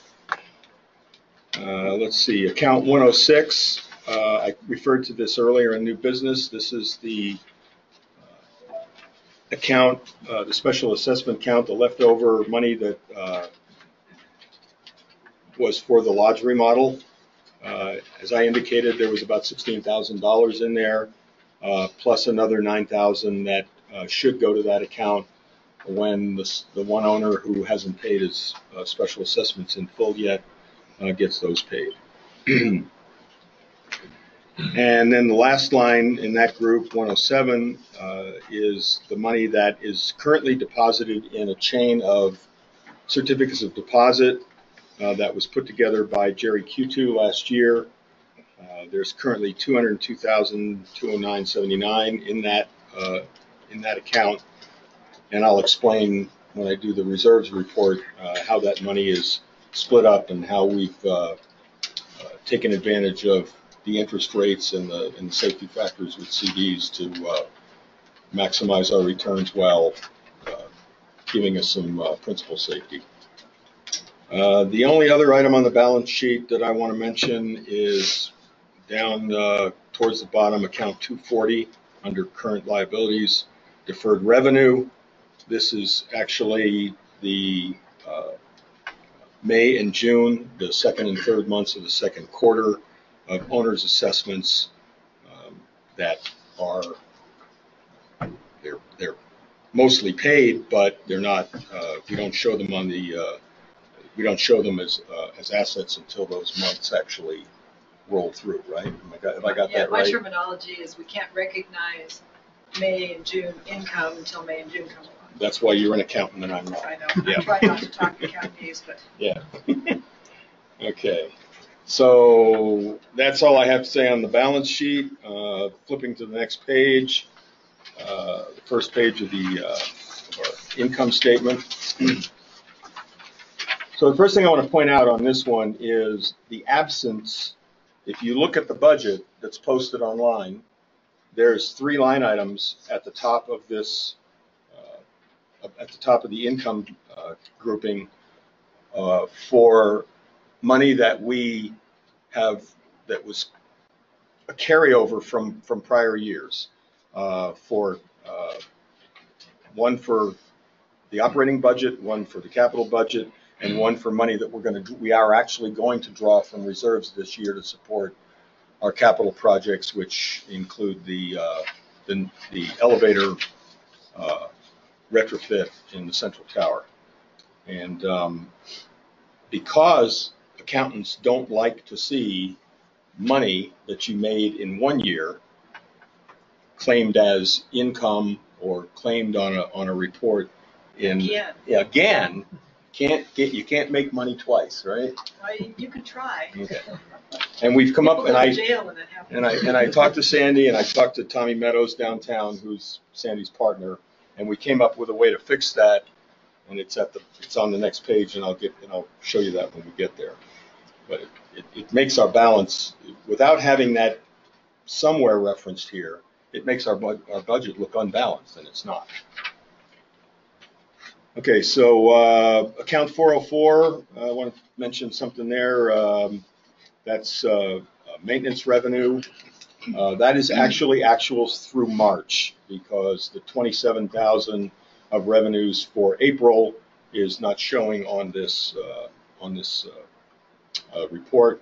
So that would bring, uh, that would bring that account almost, almost even. Um, and a little bit short because we tend not to have as much maintenance activity on units and on the property during the winter, and that'll catch up uh, over the summer. More people are here in the summer, and, and so there's more maintenance calls. Uh, Account 408 is uh, storage unit rental. Um, The reason that one looks low is because the first quarter is actually billed in December and isn't reflected there. And at the end of the year, the first quarter of, uh, of 2019 will actually be allocated to uh, 2018, and it'll balance that budget out over the full 12 months.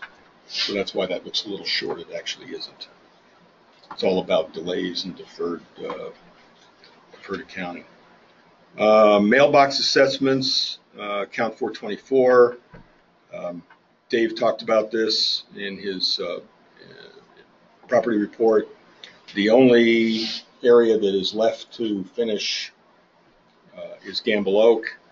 And so another about $6,500 will be assessed to the Gamble Oak owners who don't have mailboxes uh, when those are put in. And then that'll finish out that, uh, that line item. It'll come in a little, it'll come in a bit under budget. Uh, let's see, um, interest income. Uh, this interest income is only the interest that we get on our Bank of the San Juans account, and you can see it's pretty small. I'm still trying to figure out why, why we budgeted twelve hundred dollars there, because we're, we're never gonna get there. Yeah. So, as you can see, you know, when you have money in a money market account at a bank, it gets virtually nothing. And that's why we're moving a lot of our reserves into the CD chain so we can take advantage of higher, some higher returns. Um, administrative expenses, Joe, just as an aside, if we do redeem one or more of those CDs in the fall and use the proceeds against the elevator project, then we will see an actualization of that interest income and it would show up on this line. Is that right? Well, we likely wouldn't redeem one of those CDs. We'd likely, we'd likely withdraw the money from the Bank of the San Juans account, where it's not making any money anyway. Uh, well, if we don't, if we wait until then to do that, I, yeah, I know, you- I know you're going to move some of it before then. So, Yeah. okay. Yeah. I think there's a new, um, a new statement here called permanent reserve, and that's where the actual Yeah, I was gonna talk, we'll get interest to is that, gonna, yeah. is reflected. So I think that's the answer to your question. Okay, so it shows up as an increase in that account rather than as in- interest income. Okay. Yeah, yeah, I was gonna get to that, yeah. Should have mentioned it. Okay, um, administrative expenses, um, everything there looks, uh, looks pretty good. It's pretty close to on budget. Uh, The legal fees, again, like the maintenance revenue, doesn't really show the, uh, uh, the April billing because it, uh, it wasn't, it wasn't billed until May because we don't receive our, our bill from, uh, from our attorney's office until the first of the following month. So that figure would be a lot, would be much closer and probably a thousand or two above the year-to-date budget. Other than that, everything else looks pretty good there. Um, Operations, the six hundred accounts, um, building maintenance, uh, we're a little bit high there. And the reason for that is we had two major incidents in the, uh, in the lodge of, uh, over the winter of uh, flood damage. Uh, the first one was a unit flood that was above the restaurant, and there were, can't, Dave's not here, so I, Gary, do you remember what unit it was that, uh, caused that one? Was, uh, What- 203. 203. So the, so the flood was in 203, it cascaded down to the first floor and then down to the restaurant.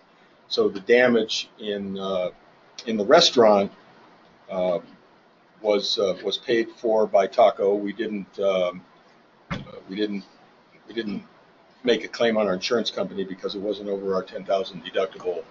Um, so we, uh, we absorbed that.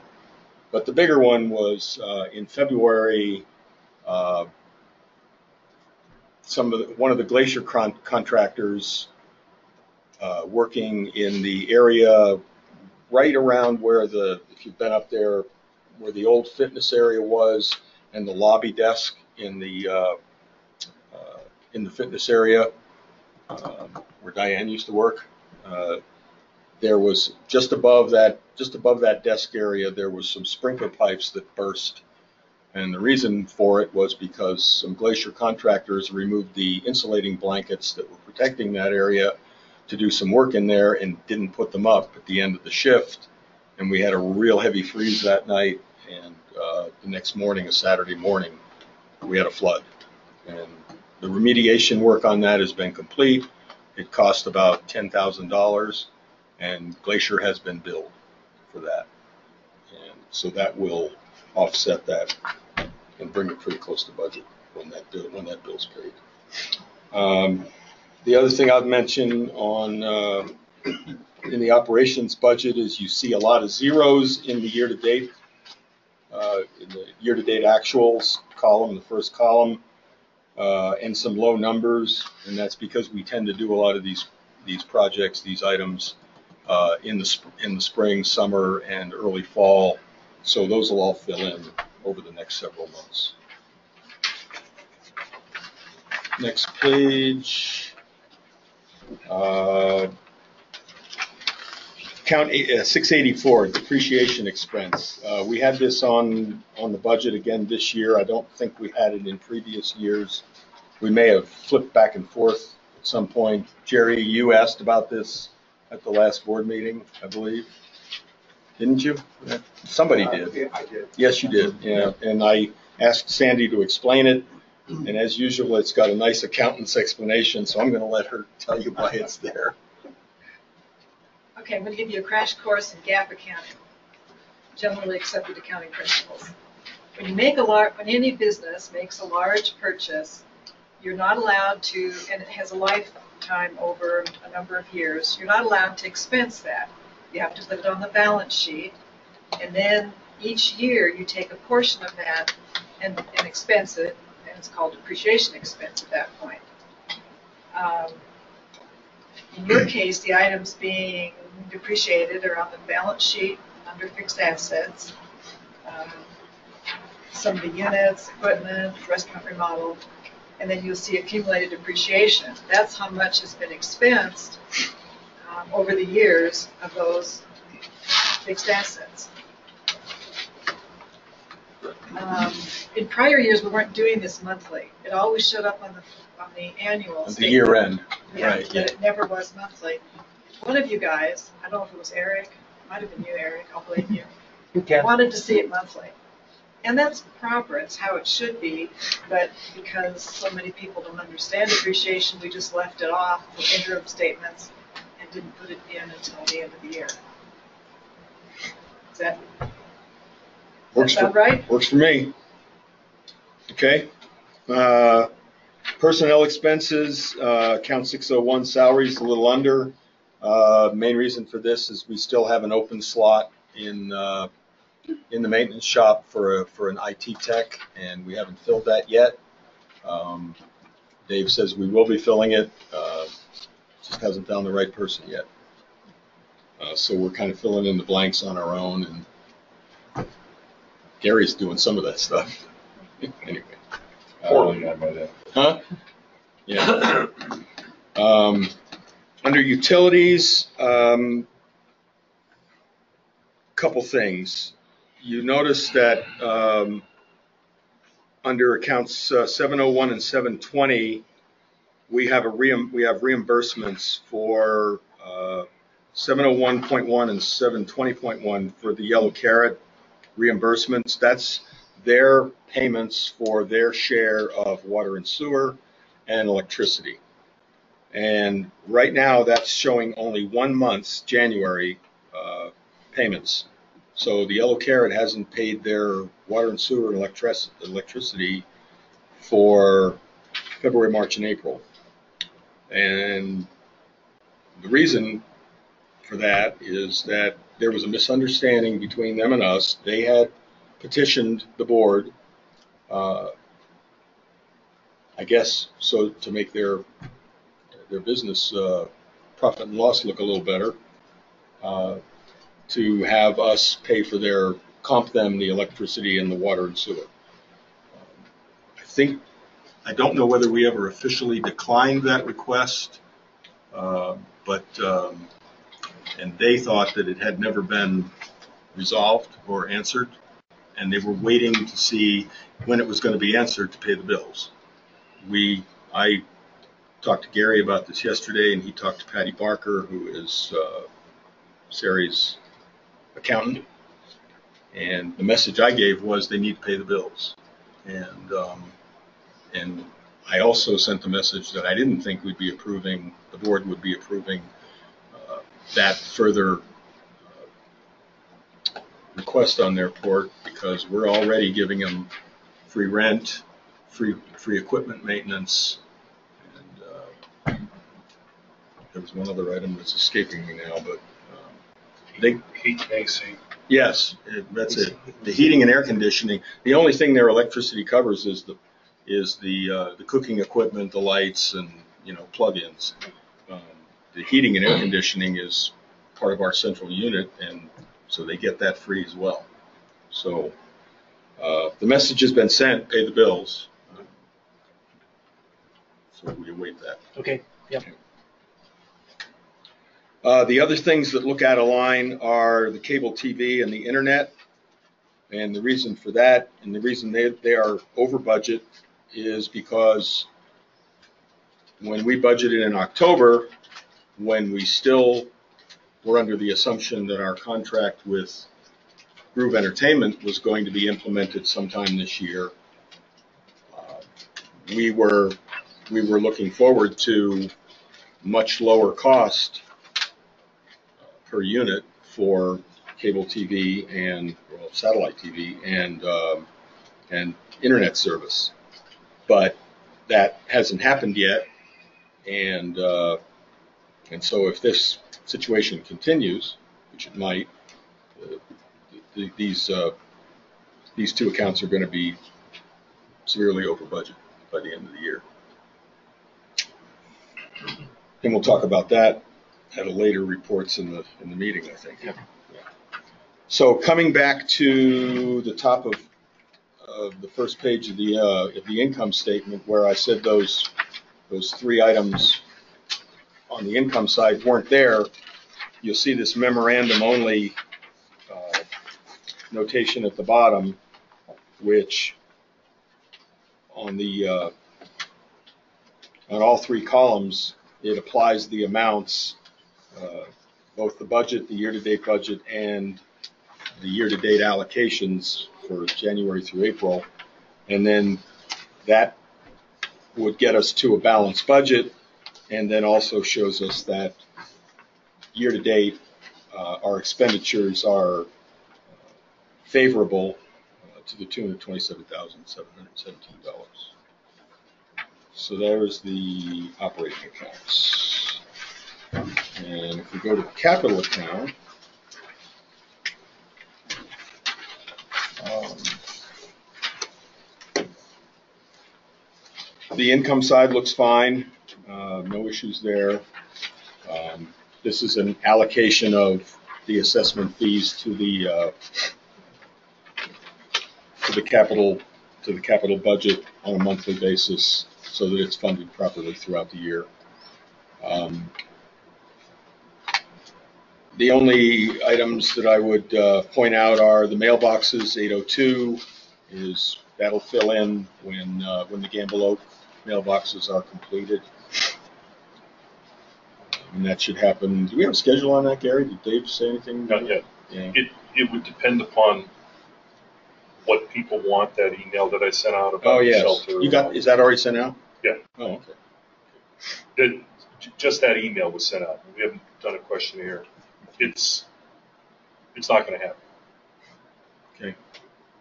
Um, so anyway, you, again, you see a lot of zeros like you did on the, uh, uh, operating side, maintenance, uh, for projects that'll be completed in the summer and the early fall. So those numbers will all fill in, all fill in. Eight forty-four, the parking lot resurface at Gamble Oak. Uh, we paid half down on that and they've done the crack sealing, as Dave said, and they'll finish the job in the fall. And, uh, Just for the record, Joe, I would know, that Chris, I don't see either Chris or Ellen, but we do have twelve thousand dollars budgeted for bat mitigation, so. There we go. We, we planned on it, um, Yeah. and I'll make sure that they get that message. And then the bottom line on the capital budget uh, is that it looks like we're, we're in a big favorable position, but that's, again, that's because we've got deferred work that hasn't been started yet, and it'll all fill in during the summer and the fall. Um, Then the next page, as Sandy mentioned, this is kind of a new sheet in our, uh, in our financial statements. And this gives you a picture of, of how we're allocating money from our, from our capital accounts to the, to the permanent reserve. And then also where our interest income is, uh, is coming from, uh, that goes, that gets folded right into our permanent reserves. So there's the answer to your question, Eric, which year-to-date, we've got uh, $1,185.51 in interest on that CD chain that uh, we have at uh, First Internet Bank, in in First Internet Bank, yeah. And we budgeted. So, yeah, we just, we just didn't understand where to budget it. We, Yeah. we, we put in, in the right, uh, a guess at what the income would be, we just didn't put it in the right account. Well, Probably that's 'cause it's gonna, the first that's gonna time. be, Yeah. that's gonna be more than that by year end, much more than that by year end. Yeah, Interest rates have come up a lot. yeah, yeah. Since October, yeah. Well, actually, the, well, I'll talk about that in the, in the, uh, in the reserves funding portion of this. Uh, the unexpected revenue there of two thousand dollars, this was the sale of some of the old fitness equipment that we had in the, uh, uh, in the old workout room that we removed, that belonged to us, and we removed it before we turned that property over to Glacier. So we got, picked up a couple thousand dollars on that. Uh, the last page on the income statements is the rental program. And this looks a lot different on the income side than it did last year. um, Because we changed the whole paradigm on how the front desk gets budgeted and how it gets funded. Again, the carryover beginning balance of fourteen thousand is not shown above in the income side. It's showed as a memorandum at the bottom. Uh, So we have now four lines of of income on, on the, uh, for the rental program. First is the contribution, a straight contribution from the general fund. And you can see that's an even amount uh, allocated on a monthly basis. Uh, 460 is the admin fees. Now, this is what used to be the $20 a night, and then we, we also added the $5 uh, contribution for the pool and fitness. But for the, for the rental program purposes, it was $20 per night on any short-term rental. We reduced that to $8 per night um, in light of the fact that now there's a contribution from the general fund and also account 473 at the bottom, all rental units now contribute a flat fee of $30 a month towards the, towards the uh, funding for the front desk. And then long-term rentals account 472 uh, allocate, they, they pay $45 a month for, uh, for funding for the front desk. So, so less money is now being uh, extracted from rental unit owners and more from the general fund to- to fund the front desk. And if we play this the way it should be played, and we'll see in, in, in subsequent budget years, that number, that ratio could continue to go uh, in favor of the rental program. But we'll see how the, how the board uh, acts on that. Uh, Because the uh, resort fees that are going to be extracted from rental program owners for, uh, from their rentals by the Valley Fitness facility will go up. It's, it's at a fixed amount this year. I think it's seventeen dollars a month. Eighteen dollars a month? Yeah. It was Seventeen. Seventeen. Seventeen, it goes up to twenty next year, and then it goes to twenty-five the following year. Caps out at twenty-five. So that's how we're funding the front desk now, uh, funding this, uh, this, this budget. Um, Marketing is over budget, but that's because Heather front loads all the marketing activities, gets into all the magazines and, and, uh, and so forth. And I think you, I think Scott's gonna talk a little bit about, uh, the, the newer marketing program, the, in another report later on. Uh, ski shuttle, way under budget. Well, no, no doubt about why that was the case. We had no snow this year.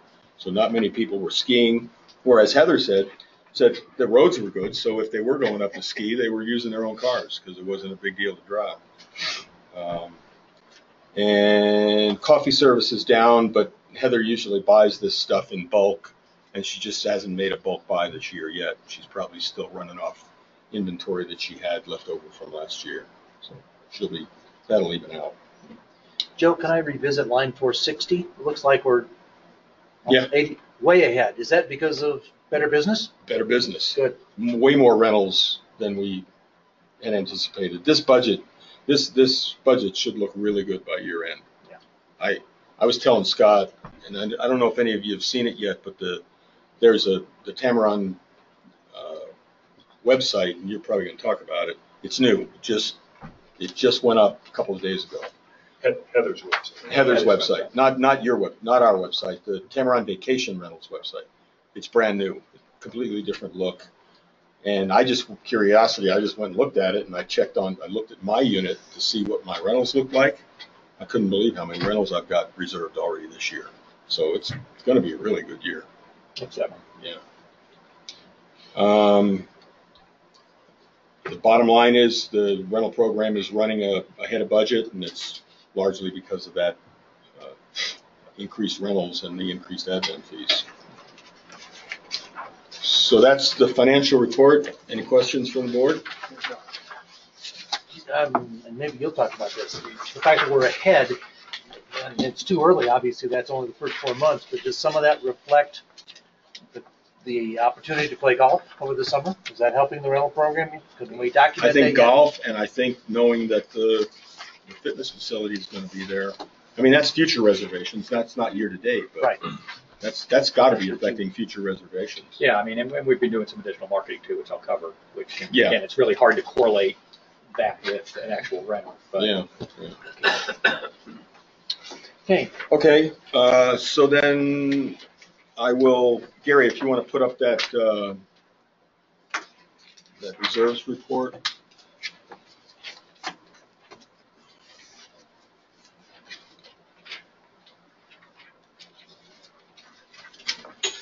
And the first thing I have to say on this is, thanks, Jerry, because this may, this may look a lot like his report from a previous meeting.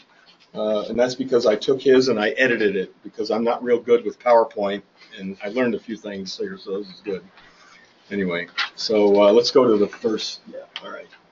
So as Jerry reported in his, um, well, no, wait a minute. Uh, as as of April uh, 30th of this year, uh, we currently have $703,906 in permanent reserves. Uh, you saw the breakout of that on the on the balance sheet. Uh, about 501,696 is in the uh, in the uh, Bank of the San Juans account, and about 202,000 is in the uh, First Internet Bank of Indiana uh, CDs chain. Um, our documents require us to keep this at 250. Yeah, the 500,000 in the Bank of the San Juans is way over that, and we're going to be doing something about that uh, real soon. Um, and our government governing docu- documents authorize investments of reserve funds, which we're doing. Next page, Gary. So as Jerry uh, reported at the last meeting or previous meeting, uh, the reserves investment study was conducted in uh, last year. CDs were, were selected as the investment vehicle, and uh, there was some criteria, at least four-star rating by Bankrate or Bauer, and uh, and good rates of return. Next slide, uh, Gary. So this is what, this slide is what Jerry uh, reported on, showed that the Bank of Indiana, the First Internet Bank of Indiana was selected. We invested $200,000 in um, eight $25,000 CDs in 6, 12, and 18 month, uh, 6, 12, 18, and 24 month uh, instruments, 25,000 each and the interest rates are shown right there. So remember that when you see this next slide, because two of the six, two of the two of the six month CDs, the two six month CDs, have now been converted to 24 month CDs. This was upon their maturity in 2018, or February 2018.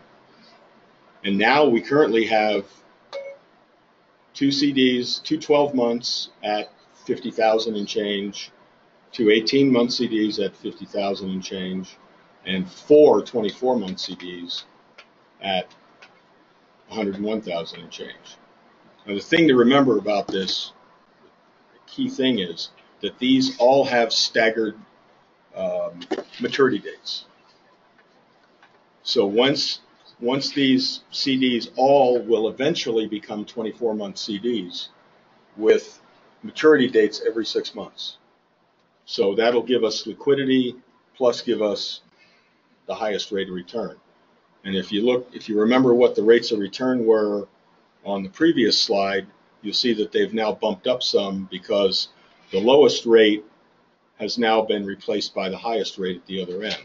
I'll go back and flip back there, Gary, real quick. So we had we had 1.32% up to 1.81, and now go back to the fifth slide, Gary. We had we now have 1.57% up to 1.82. So we're making more money on that money now than we did during the first six months of the of the program. So what do we do next? Well, we add a second similar batch of CDs at $200,000. Uh, I've identified, done some research and identified some banks, and as you can see, the rates are significantly up from where they were uh, a year ago, almost a year ago. Um, i am looking at Ally Bank, Synchrony Bank, Kansas State Bank, there's others. These all have five-star ratings. Uh, we can probably use four-star ratings and get a little bit better rate, uh, but it's going to be in the in the low to mid 2% range for the 12 month CDs, the six month and the uh, 18 month will be slightly less, and the 24 month will be slightly higher. But the main thing is we'll be getting more money on this next chain.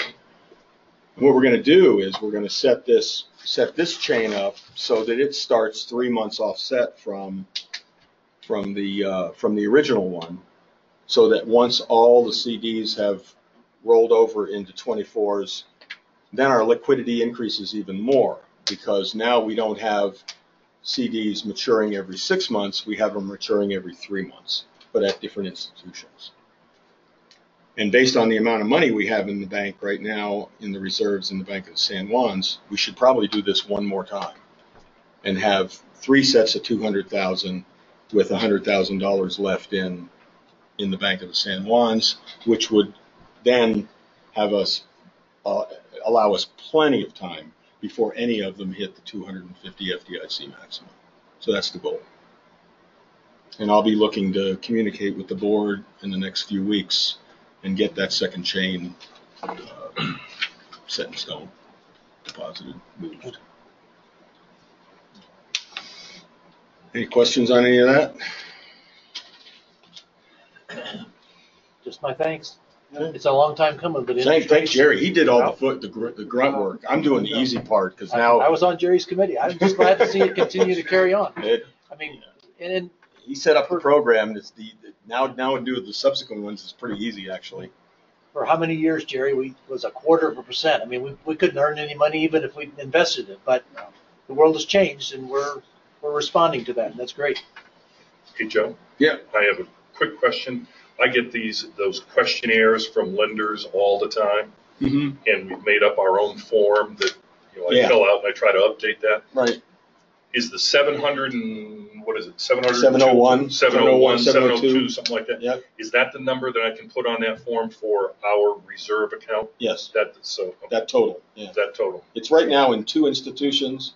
It'll ultimately be in four, okay. just to keep it, to keep the, to keep it, uh, all in compliance with, uh, or under the FDIC limit. So we don't, you know, so we don't have too much money in one institution. And it, and it will unfortunately go up and down. When we pay for the elevators, for example, it's gonna take a, a step down. but That's why it's there. Well, they always ask about the operating budget too, and that goes up and down even more. That's it. Okay, any questions from the board? Any questions from the audience or online? All right. The next speaker, talking about our water and sewer situation, Oh, this, this. Jerry Cujo. Jerry, do you want Set to? the slides. I'd offer you my seat, but you can hardly see from here. Grab one of them.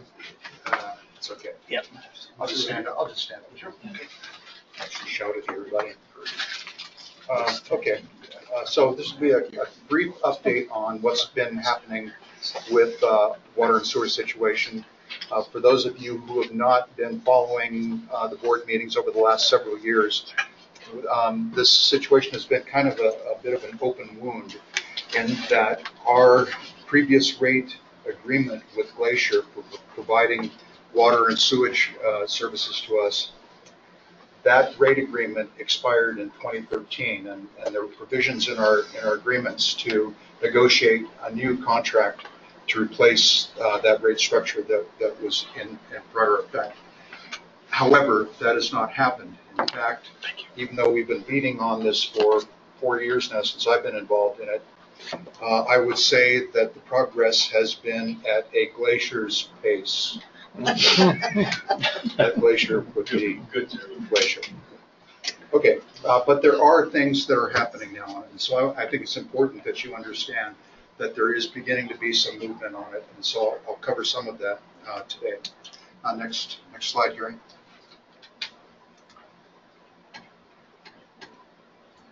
Okay.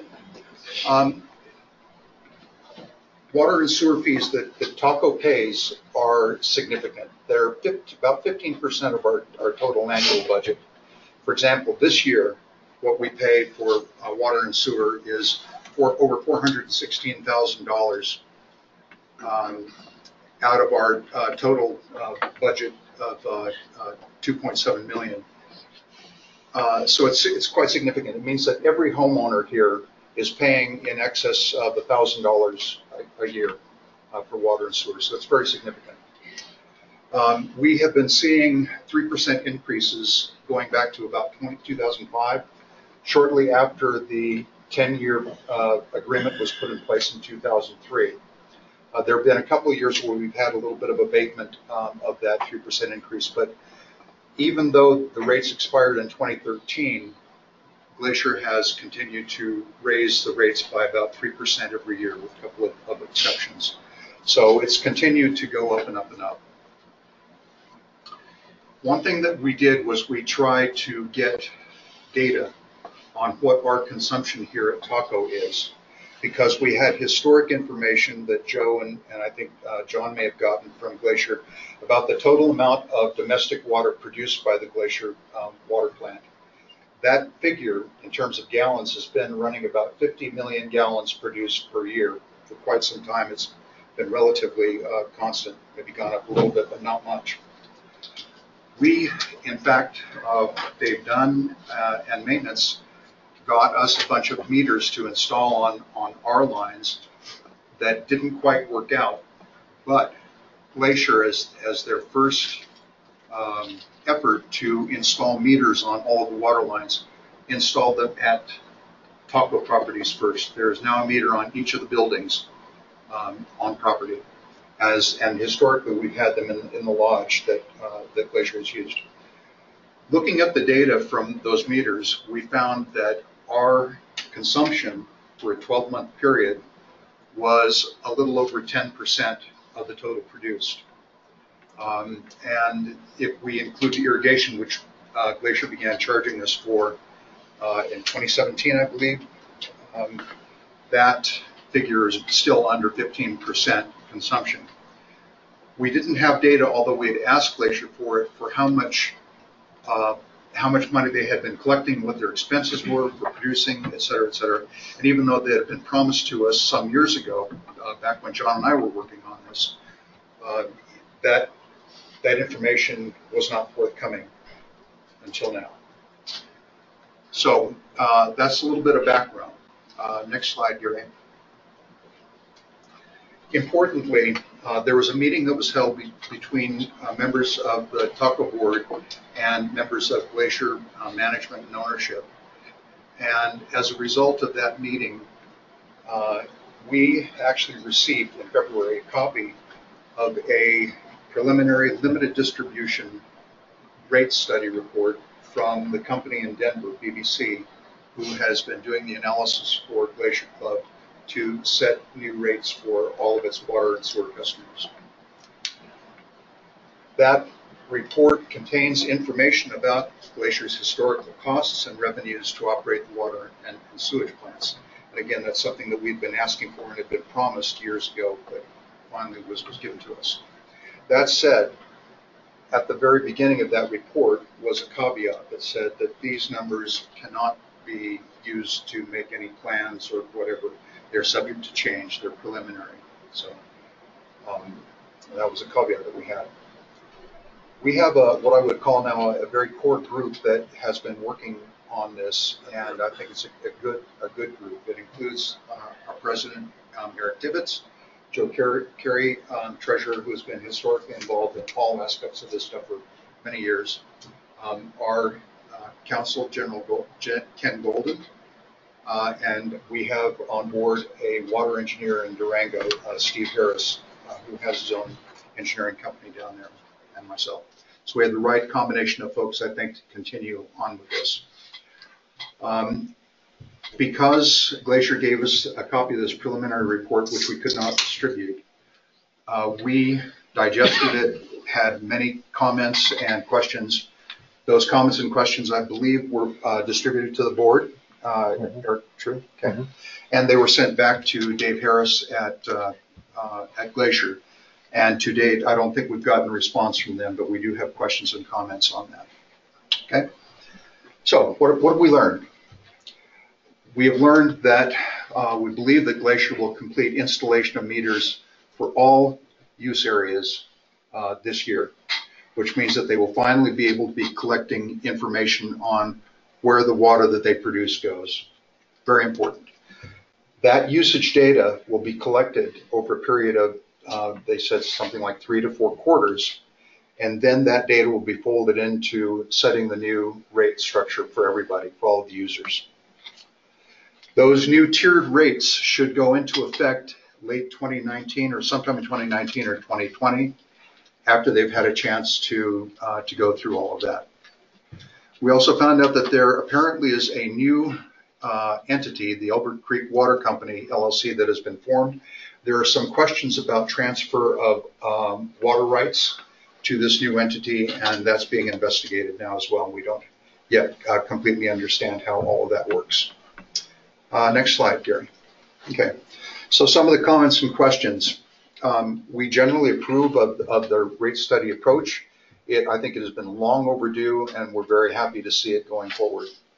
Um, As part of that, uh, Glacier has said that they need to build a reserve, uh, just as we, as Joe was talking about, in our finances, um, all entities in general should have reserve accounts, uh, so if they're hit with something, or if they have new capital investments that they need to make, the, the money is at hand. And we agree to that. Um, there is an issue that has to do with raw water. Raw water is used to irrigate the golf course. And it appears that that historically has been a significant fraction of the total expense. And because that is a glacier operation, um, it is our position as of now that that should be treated separately from the other water uh, that is delivered to all of the users. And so that's something we'll be, we'll be uh, negotiating in, in the future. Uh, we also noted that the report that they gave us did not break out in any way different types of users. For example, work condo community. There are single home dwellings um, throughout. There are other HOAs. There are commercial buildings that are served. So uh, we don't have, yet have any details about how the rates would vary depending on the type of users or whether there would be different tier structures for, for everybody. So these are, we have many, many questions that yet uh, have to be resolved. Um, next slide. So um, I'll just summarize briefly. Um, the metering project uh, should be completed this year. The relative consumption data will factor into establishing more equitable rates for everybody. Uh, there will be significant capital expenditures. Dave uh, mentioned already that they're working on the water plant, and uh, this was kind of news to me, so uh, I want to get up to speed on that. Uh, but those capital expenditures to improve or replace um, uh, treatment facilities will be passed along to all the customers. We can expect that that's that's normal. Um, and then there will be a reserve, and and the costs for building up that reserve will also be passed along to everybody, including us. Um, I think that's about it. I know because the water and sewer is such a large ticket item that I think what most owners want to know is, are we going to get any relief and how much we have to pay? What are our new rates going to be? Well, we don't know that yet. Uh, it remains to be determined. Um, what I do believe, based on the progress that's been made, especially recently, is that we can look forward to community-wide uh, more equitable rates for everybody.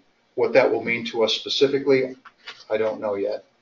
Um, especially because there there were there are new capital projects going on, um, and uh, and other expenses. So don't uh, don't have answers for you on those issues yet. That's it. Did anybody, I know in January, I guess that's when we were here last, uh, we talked about reaching out to the folks down the road in Rockwood. Did that ever happen? Um, partially. Um, Eric, I don't know if you can comment on that, or uh, I know somebody had, had spoken to folks down there, um, but I don't, uh, I don't recall except a, a general statement that that they thought that it would be good for everybody to share information about what uh, how they've been charged. My recollection is that the, the specific question to be posed was water quality. And yes, those conversations did take place. Okay. Yeah. And incidentally, somebody did this morning ask about water quality. Um, and so we have, uh, we've talked about that a little bit. I, I will tell you from my own experience that, you know, the water up here is incredibly hard, hard. It has high turbidity.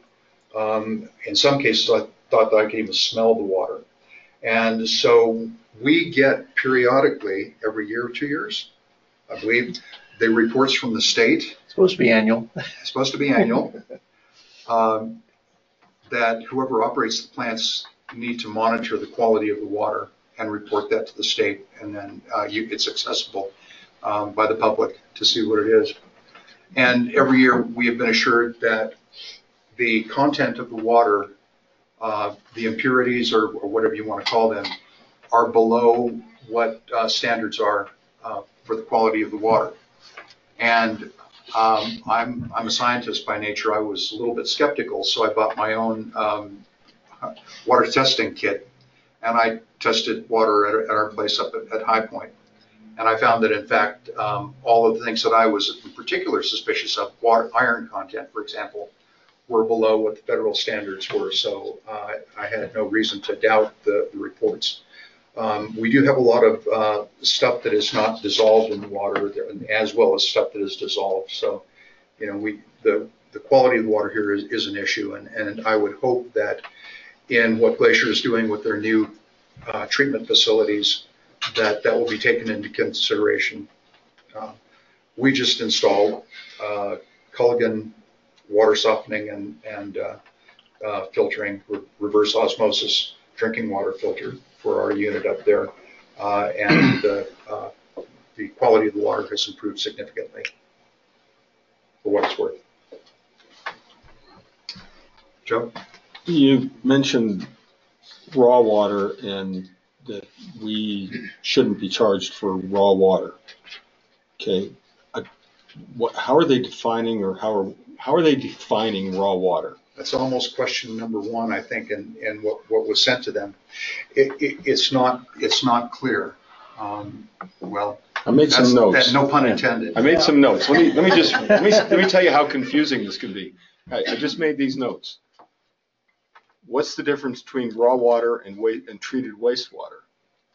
Raw water is river water, creek water, And our well and water. well water, right? Yep. Raw water feeds the water treatment plant, which then becomes drinking water, Yeah, but it also can feed the golf course directly. that's right. Treated effluent feeds only the golf course. Right. So it's, it's And- convoluted. And the study does not, ref- at least the parts of the study that we saw, I think everybody would agree, didn't correctly reflect the makeup uh, of the real water Yeah. as used. That's what- that's- And- and yeah. that's- But I think that's because they don't know. I think those guys are, that was their first draft, and I don't, I- they didn't know. If we hadn't told them, I'm sure Glacier would have told them, that's not what really happens to the water here. Maybe they got raw water right. They, but they identified both in terms of, well, gallons produced or whatever.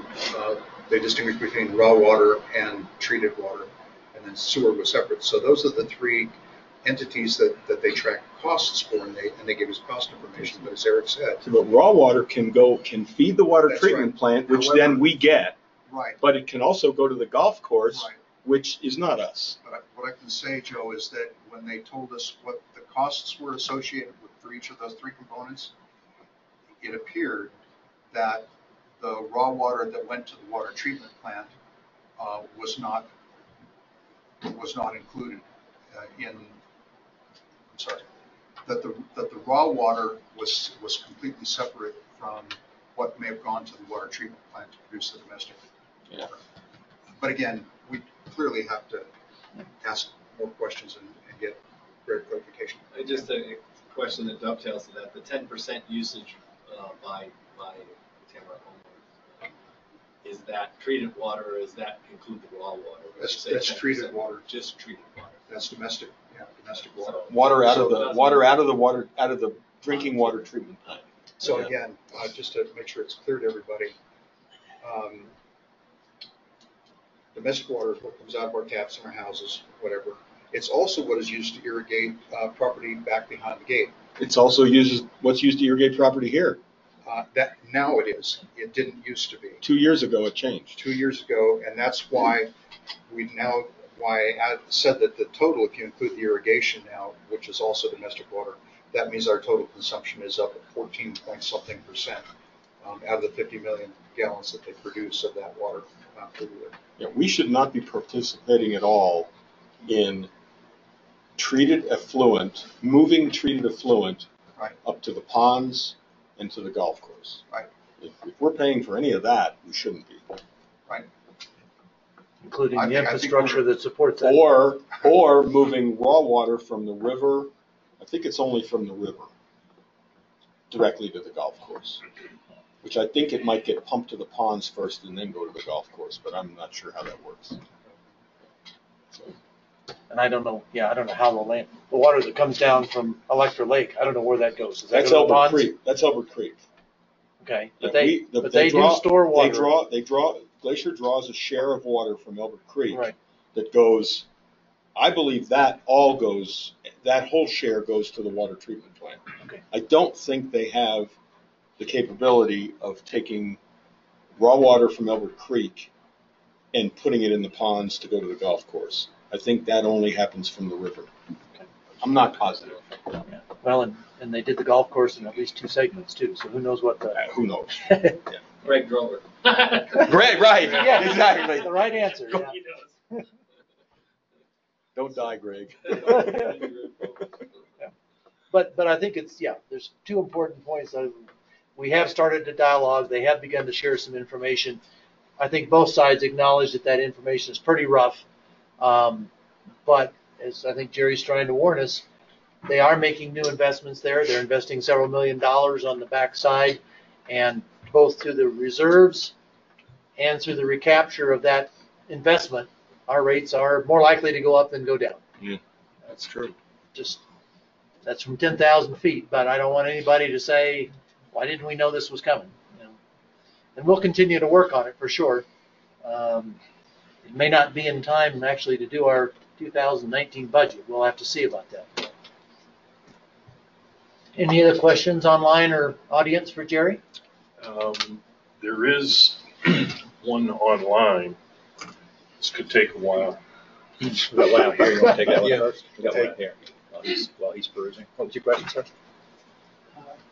Jerry? Jerry, I think you said that uh, the state requires a water quality report yearly, but it hasn't been happening.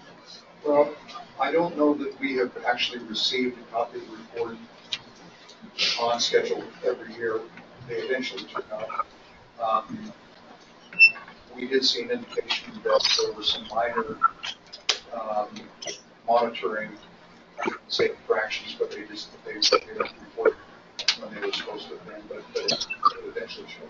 Is that online, information available? Yeah, you can find it online, so you can remember, but if you go to, in the state of Colorado, um, if you do some poking around on Google search, I think you'll be able to find it. Well, in fact, I can try to dig up my link again and send it but. Google it. and Google it. Thank you.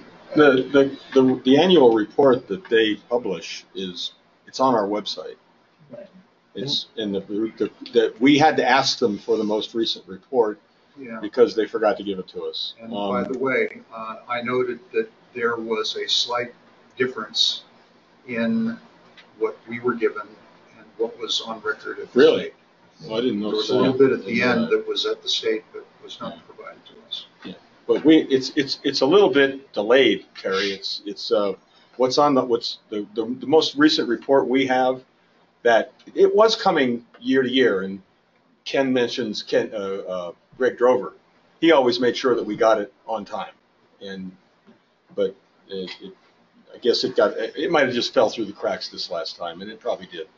Um, but the most recent report we have was published last year for 2016. That's the most recent data we have. We don't have data for 2017 yet. That's on our website. In that, in that, that report for covering 2016 is on our website. It's on the Glacier, it's on the Glacier Club page. Yeah. Do we have our question yet? Mm, yeah. Okay, let's do this one first and then I'll come back, Diane. Right, This is from uh, Gus von Bolschwing. Um, I suspect from his presentation to all of us, spent lo- spent long hours extensively gathering water usage among all the interested groups, TACO being one. The studies seem to indicate that we are being massively overcharged, perhaps by as much as 75%, and if so, multiple millions over the past years. When I last talked to Jerry some months ago, he seemed to indicate that he has no longer been involved. Why not? Who is? And what are we doing to reduce this four hundred thousand dollar cost to us. Here, rather than a decrease, we actually incurred an increase this year. Why? Based on past patterns, won't the Glacier Club just drag out this ad, ad infinitum? As most of us would give the circumstances, as most of us would give, as, as most of us would, given the circumstances. Next, we will probably hear about, this, I told you it would take a while. Next, we, we'll probably hear about all the capital involved improvement it needs to make not having, not having maintained the facilities and so on. Are we having Mr. Golden at least initiate legal action to get this moving? I am a Glacier Club equity member. Wow, Well, there, there are lots of questions there. Let me, let me try and highlight just, just one. Uh, and that is the, the three percent raise ad infinitum. Uh, we have an agreement with Mr. Carlton that we will not see another increase in the rates until we have an agreement That's right.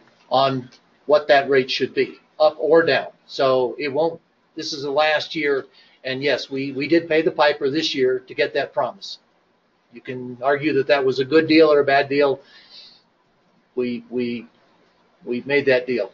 And, and we opened the gates, I think, for, to start sharing some information. Because if we don't share information, we're never gonna get to the bottom of this. I mean, Jerry can tell you how long he did spend in the dark with a flashlight trying to find data. And, uh, uh, I wish we'd had a lot more data. Maybe would we wouldn't be here, but we we don't. And so there were other questions, Jerry. Maybe you remember some of them. Um, Jerry's not going away, by the way. Jerry's still head of the water committee. Um, not quite sure what that reference was. And, and to be fair to Gus, subsequently he wrote, Okay, if, if you got a question for me on the water issue with Glacier Club, ignore it. Jerry Q2 just, just answered it. So, sorry, sorry, Gus. I, I didn't see that until, until afterward. well, there's some good questions there, and I'm sure the audience is everybody's interested in some of those. But um, so is there another part there that you think we should address, Jerry? No, I, I think Gus kind of reflects what we've heard from many owners is that the frustration um, in getting movement on, on this issue for so long and um, maybe some cynicism about, uh, you know, people willing to actually uh, do something about it.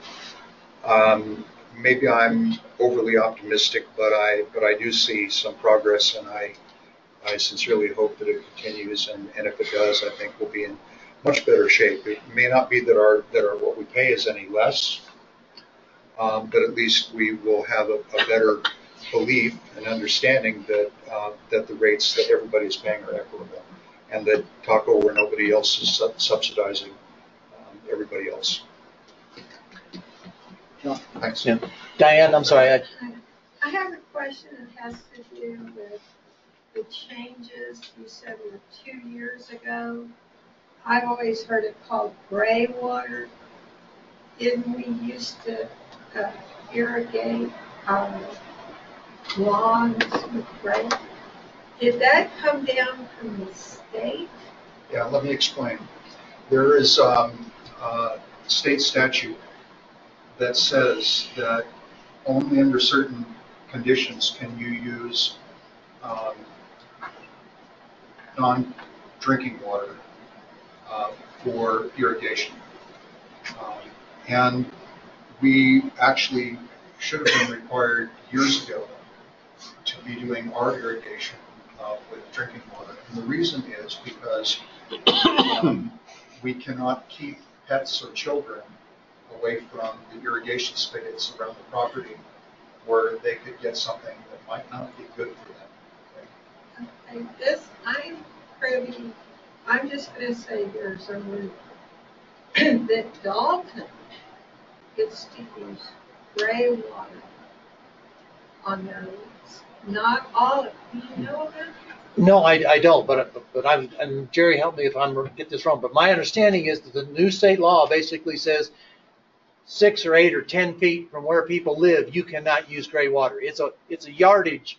It's that kind of a regulation. So there may very well be parts of Dalton that are 25 feet away from. Dalton does not use So gray it, water. Oh, Dalton does not use, okay. Okay. And she lives there. Diane, just a li- a little bit more. Um, We, because we knew that in, in spite of the state law, that Glacier was using uh, treated effluent for watering the golf course.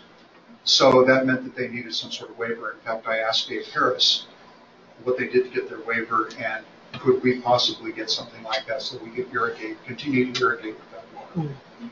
Um, what was explained to me is that they do have, um, they are excluded from that because, number one, they only irrigate at night. And two, it is supposedly controlled access to the golf course where the irrigation goes on. So because of that, they are allowed to continue irrigating on that. Now, we're being required to own irrigate. Nine, But I, I don't think that, uh, yeah, that, but that's for a different reason, right? That's for water conservation. yeah, but can you, yeah. But if that's like the rural law, could you? Just over Crown City, if she's what you're saying, she's still supposed to own. Thank you, Jerry. Um, move next to, uh, and we touched a little bit on this, but the fiber internet, uh, and the easement question, why it's important. Okay, real quick. I, we don't, there's no, I don't That's have it. it. You don't need that Oh, slide. I don't, I don't need that slide. Um, so we got a couple of components here that I, I I guess myself and Eric and Jim are gonna pass this between each other and, and tell you the whole situation on where we are with telecommunications, um, and internet and, and cable slash satellite TV.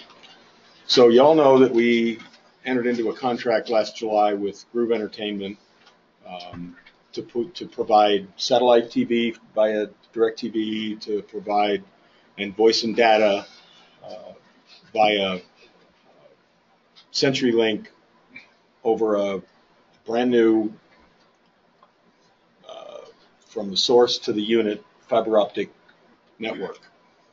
Um, subsequent to that signing of that, the agreeing and signing to that signing of that contract, Groove has backed off. You know this as well because it's been reported on before. Of this aspect of the of the voice and data aspect of it, due to access problems. Those access problems involve CenturyLink determining after the contract was signed and after Groove repeatedly confirmed with us that they did they would have access, but they found out they didn't, um, either via the currently installed conduits that could possibly be mined out and new fiber put in there, or via new fiber optic in conduit laid uh, essentially along the roads between our complexes and from Highway 550. The reason they found out they couldn't do that was that there are no easements for those utilities uh, in within the property. There is an easement from the Highway 550 to the lodge.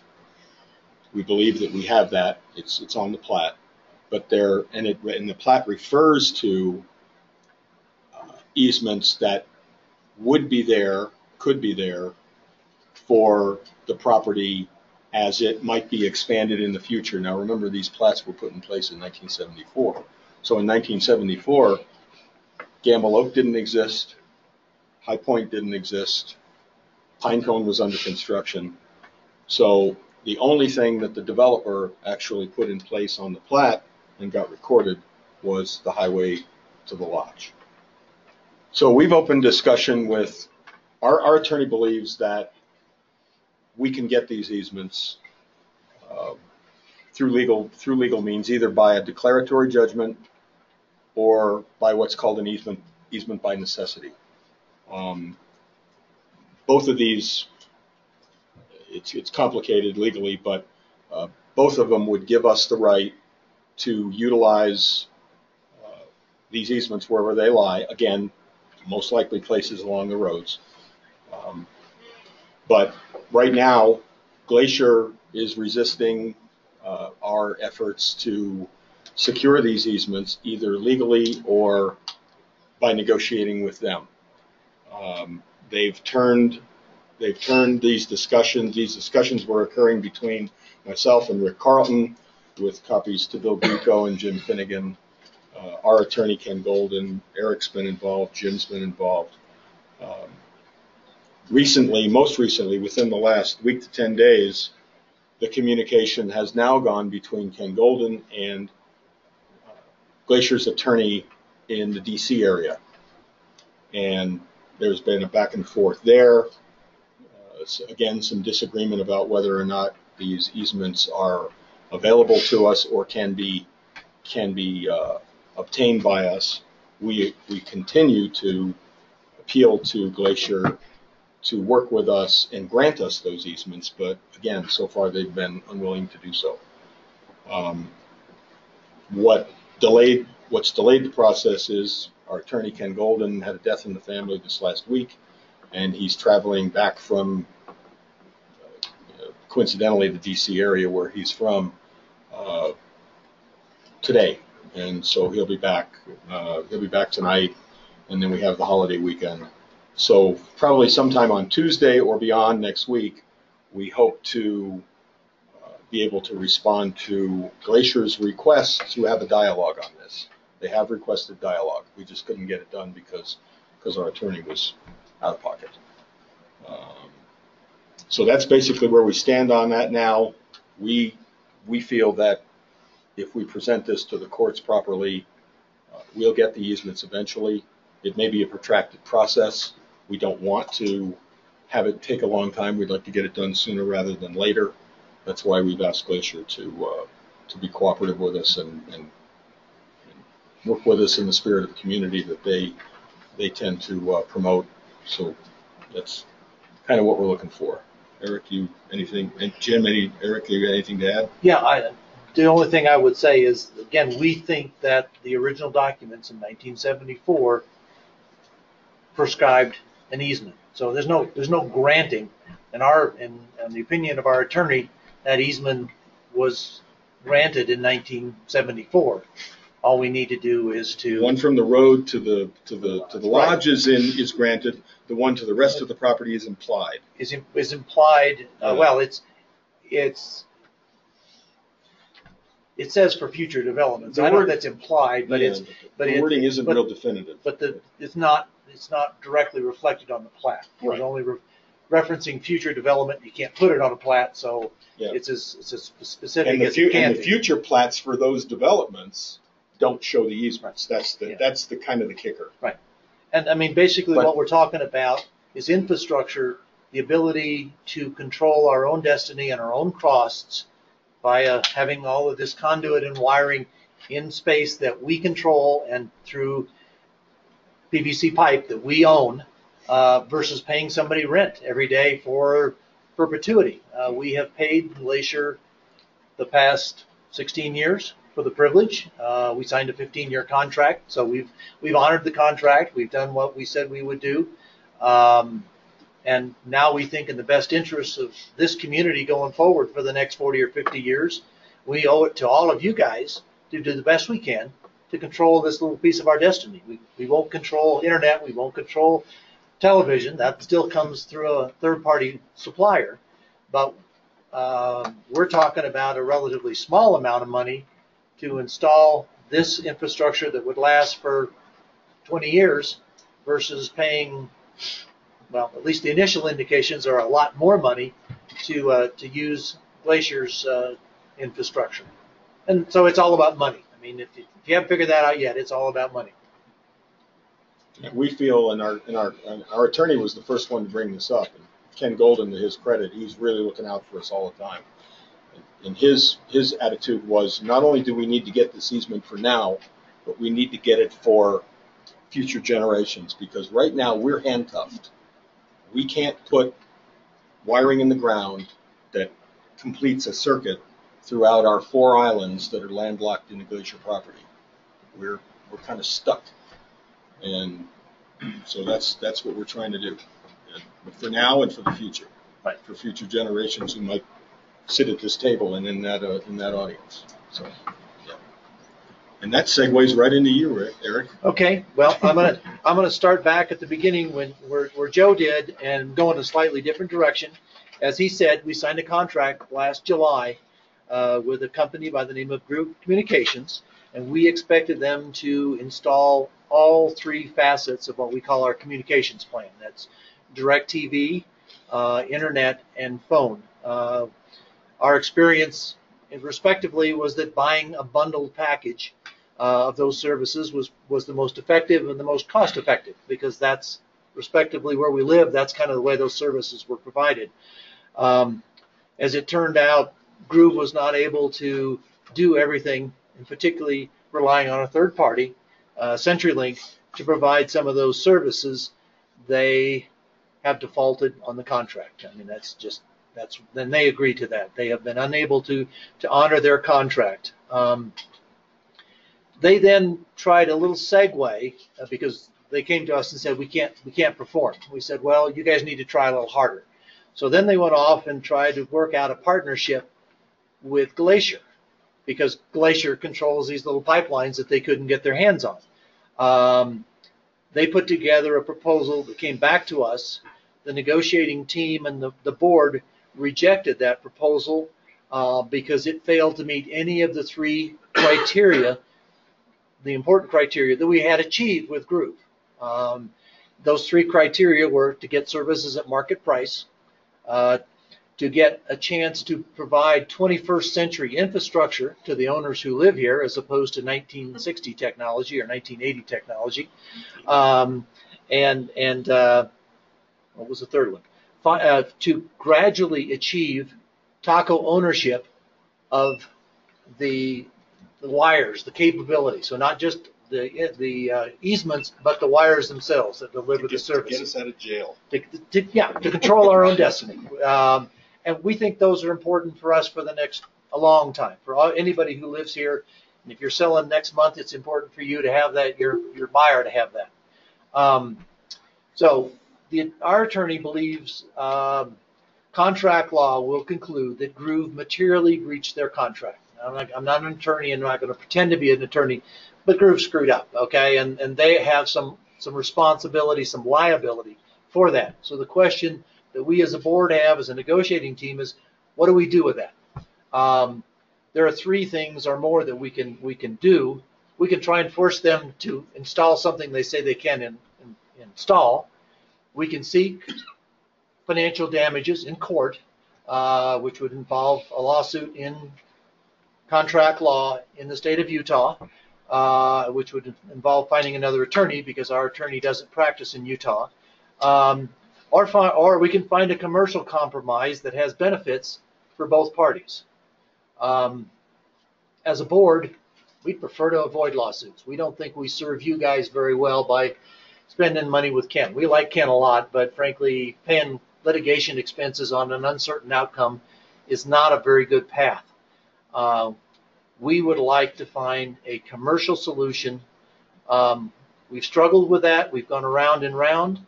But I will say in the last 10 days, we have identified a possible concept, and I'll just use the word concept, uh, which we have discussed with Groove, uh, and we are awaiting a more detailed response from them. Um, there is no assurance this concept will proceed, and there's no assurance of what that timeline may be.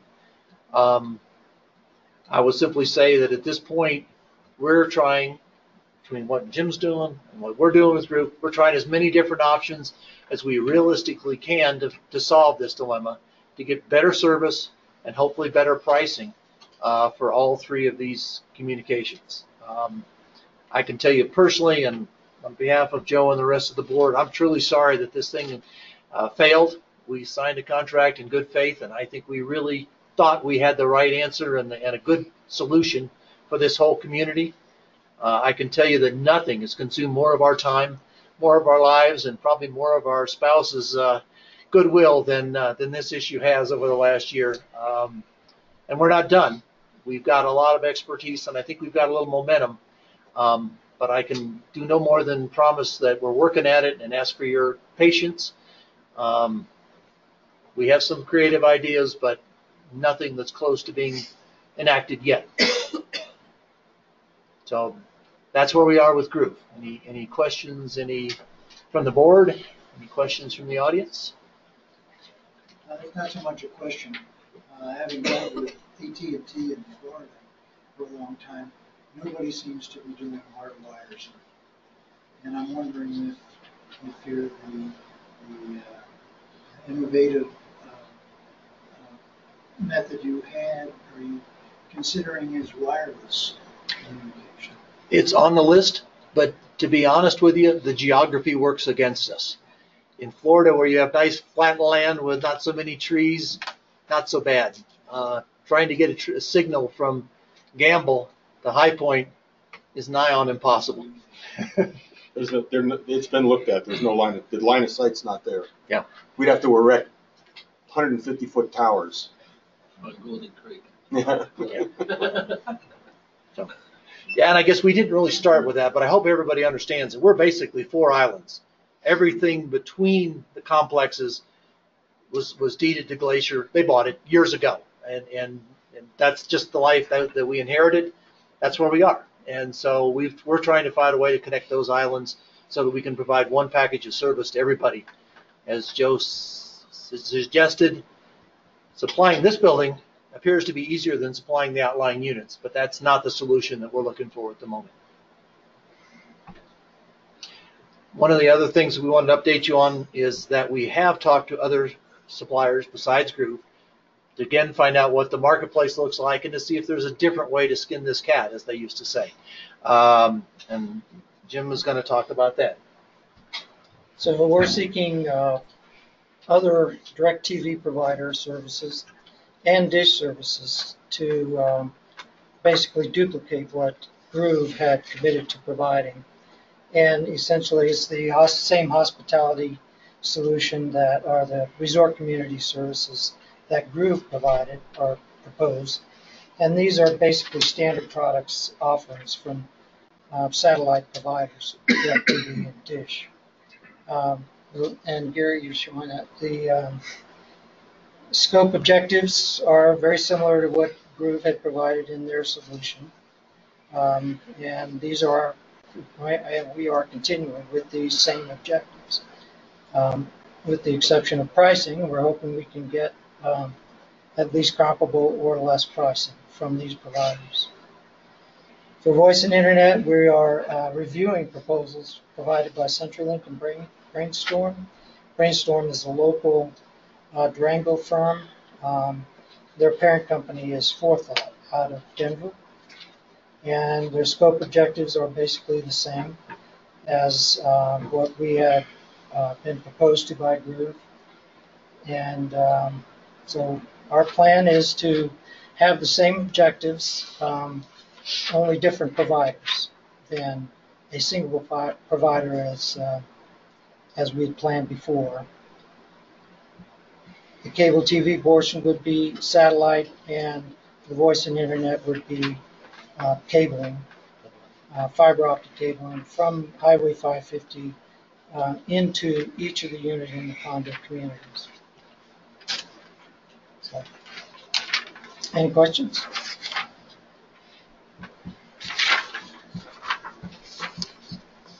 Okay. Um, again, I, I think we are looking for any kind of a reasonable commercial solution. Um, if there's a, you know, an opportunity to work with Glacier uh, on this one, uh, and, we've got other issues that we would like to work with them on, and other issues we've worked successfully with them on, um, we're open to that. Um, at this point, um, they don't seem to be in any hurry to respond. Uh, that's because they get a check from us every month. Um, and um, so um, it's it's probably not realistic to expect that they're going to be in a hurry to uh, to take away that source of revenue to them. Um, can't say that I blame them for that, and they're not making doesn't make them the, opponent or the enemy or any of that kind of stuff. Uh, in their best interest, they want to collect money as long as they can. In this particular point, our interests aren't totally aligned, so we're trying to find our own path.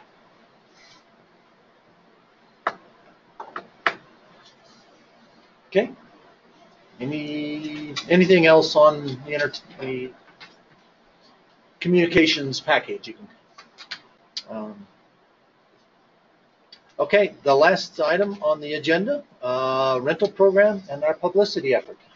Mr. Gillen. Yeah. So, um, Heather, I'll kind of go through the publicity thing, and then if anything you want to add, I'll, I may ask you to chime in, okay?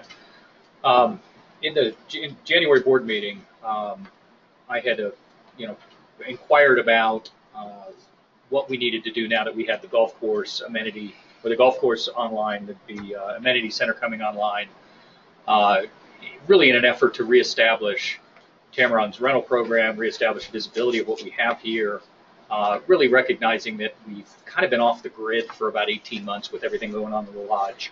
Uh, we've been limited on what we've been able to do. Uh, we've lost some um, uh, some repeat business because the pool not being available. Uh, so we felt like it was uh, it was time to maybe revisit that.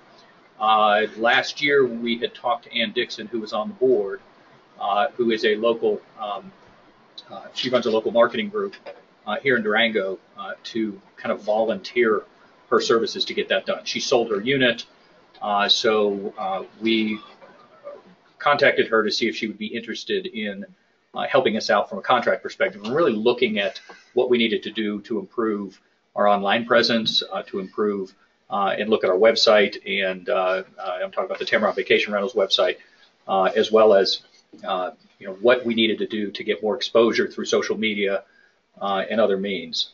So we entered into contract with her. I think the first month was February, and the first thing we really focused on. We've of doing, been doing this in phases. Uh, the first thing we, we focused on was the uh, was the uh, Tamarron rental uh, website. Uh, for those of you who are not aware, um, the association bought the, the original LiveRez software uh, that we have been leveraging that runs that website. Uh, it was bought seven or eight years ago. Heather, is that about right? Uh, so we've been operating uh, with um, with this technology. Uh, in digging into it, we discovered that uh, we have what's what was called a non-responsive site. Uh, what that means um, in you know tech speak is basically uh, it goes to the bottom of the ranking in Google searches. Uh, it has no uh, ability to, to have a, a presence uh, via you know a cell phone or, or a tablet or anything like that. So we had really the lowest common denominator website, which probably was not that case, you know, not you know seven eight years ago, but given current technology, uh, that's what we had. So uh, we did the research, uh, made a determination that that we needed to upgrade uh, that website. Uh, so that was the first effort, and that just went online Wednesday. Yesterday. Yesterday? Okay. So uh, for those of you who haven't looked at um, uh, the Vacation Rentals website, take a look at it. You can pull it up on your phone now. Flows a lot better. All new pictures. Um, and it, it really is, is, is very impressive. We've got social media presence tied to that. Um, we did a new Facebook page, uh, which uh, we've had a Facebook page for a very long time. I think when we looked at the Facebook page back in February, we might have had, I don't know, 50 or 60 people that uh, had liked it or joined it. Uh, we're up to what, 380, 350, something like that, Yeah. um, as of today. Uh, so we, we revamped that. Uh, the other thing we started in February was doing um, what's called targeted targeted advertising. So for any of you that aren't familiar with targeted advertising, uh, basically uh, Facebook allows for you to do sponsored ads, and you can pick uh, the demographics you're looking to reach, the area you're looking to reach, the type of people you want to reach, uh, and uh, you can target those ads, and you basically pay per per um, per people you reach. So it's it's extremely inexpensive. It's kind of um, a new way of, of having really focused and targeted campaigns that you can do to try to reach out to people and make them aware of Tamarron and, and its amenities and whatnot. Historically, what we've mainly done is local ads. Um, what this was done was was really intended to target uh, specific events that were going on around around Durango uh, and, uh, and do posts really in the surrounding area. So we started in February. Uh, we did, I think, four campaigns. One was uh, uh, around graduation housing, uh, which was local here, just post local here. Uh, we did a posting for the Iron Horse, uh, which is this weekend. Uh, we reached 1,138 people for that. Uh, it was like it would cost us two dollars and fifty-five cents to reach 1,138 people. Uh, we did a, uh post for the Durango Bluegrass Meltdown, which was that in April? When was that? It was in April. Uh, we reached 1,286 people, uh, and that cost us $20. Uh, we did a spring break post, um, uh, and it was really focused on uh, trying to get people up here for spring break, uh, and that ex- had expressed interest in. Uh, we did ages 18 to 55, living in Utah, New Mexico, and Arizona, uh, that expressed interest in outdoor activities or skiing. So they're very targeted, uh, targeted efforts. Uh, between February and March, we did uh, two rounds of posts. I think we did a, some in April too, but I, I didn't get the report yet on that. Um, I think so far we've might have spent $110 uh, doing targeted posts, $125 maybe. Um, but we've uh, we, we've reached uh, a, a lot more people. We've got a lot more likes on our Facebook page, and and really that's kind of the grass the way grassroots marketing is working today. Using social media, we've got uh, we've updated our Twitter activity, we've updated our Instagram uh, activity, as well as our Facebook activity. So, yes, ma'am. Excuse me one second, I'm jumping ahead, but have you gotten a return in reservations from those It's very difficult. It's, measure? it's tough to track because we don't, you know, being able to say, I'm responding to this particular post that you did in February and I, and I booked a room. What we are seeing is an increase in activity. Uh-huh. Um, uh, we're looking to update the Facebook page. There, you can actually do a booking functionality within the Facebook page, which will give us a little more ability to track. Yeah, that's what. Um, you know, at the end of the day, there's, there's not a really, there's not an easy way to correlate that somebody came up specifically, other than through maybe campaigns or surveys. In addition to that, uh, Heather has had a lot of conversations with Glacier, and I'll let you fill this in, Heather. But but basically, Glacier's been very cooperative with us on coming up with golf packages and uh, things that we can advertise collectively uh, with them, so we can get people up here uh, and have golf packages as well. You want to maybe speak a little bit to that, Heather? Yeah, I've had quite a few meetings, um, Ken's been in on some, um, Jim Finnegan, Josh from the golf shop, Carmen, who's running their event center. Um, so we've been able to, for example, utilize some really nice golf photos for advertising. We've been able to put together a golf package that's advertised um, through the Gateway reservation system in town that kind of puts together package uh, stays. So for example, we have a stay and play package, you know, much like we have a stay and ride the train package. So there's a little bit of discounts built into some things. Um, you know, they're working closely with Carmen. They're doing a bunch of weddings next door. Um, so she obviously refers those wedding groups to us for guest stays. So I think I'm working with her on maybe ten different weddings this summer. And before, maybe I would be working on one wedding this summer, if it was being held, you know, down here, uh, in the private courthouse. So I think we're definitely gonna see, you know, some increases, and I, and obviously now I'm starting to be able to advertise an opening date, um, for the pool and fitness center amenities. So it's been real easy working with that group, I think it's all been positive, and, you know, we're just really making sure that what I'm saying is okay with, with, you know, how their brand needs to be, and, um, I just think it'll, it'll be obviously a, a boost for us. Might take us a little bit to get re-ramped up, um, cause like Scott did say, we did lose some repeat groups and, and things with the closures. But hopefully with some of these Facebook campaigns and the website ranking higher, you know, hopefully those people are looking back on our site and seeing that we've got all this stuff reopening back up again, so. Yeah, so here's the, the new website here, um, and you'll notice the flowing pictures. Uh, we got cooperation from the, uh, from the railroad. We've got, uh, pictures that Glacier provided, that DMR provided, or Purgatory provided. Um, so we've, we've really kind of stepped up, uh, the website presence, uh, that we have out here. Obviously, they can, uh, consumers can book and, and search directly online, with that. So it's a, it's a, it's a much improved website. We're hoping, you know, certainly that will help, will help. We, um, we did some additional social media posts around, uh, the Taste of Durango. Uh, we did some special promotions with, uh, Purgatory with a free lift ticket. So we, we're trying to get creative with the posts to get activity. So, you know, really right now we're just coming out of phase one. We've got the website, we've got the, you know, we've got a, responsive site now. Now we'll start working, uh, with, with Google to try to get our, um, our rankings higher up. Uh, funny enough, Gary's site actually had better Google rankings than, than the rental site, and it's primarily just because of the technology that we were leveraging. We weren't we weren't getting any boost from it. So now that we have the website on board uh, and, and online, I should say. Uh, kind of the next phase is, is really to, to focus more on how do we track bookings if we can. Um, Heather's got some plans to do some surveys specifically with renters that come in, try to figure out exactly how uh, how they got referred to us.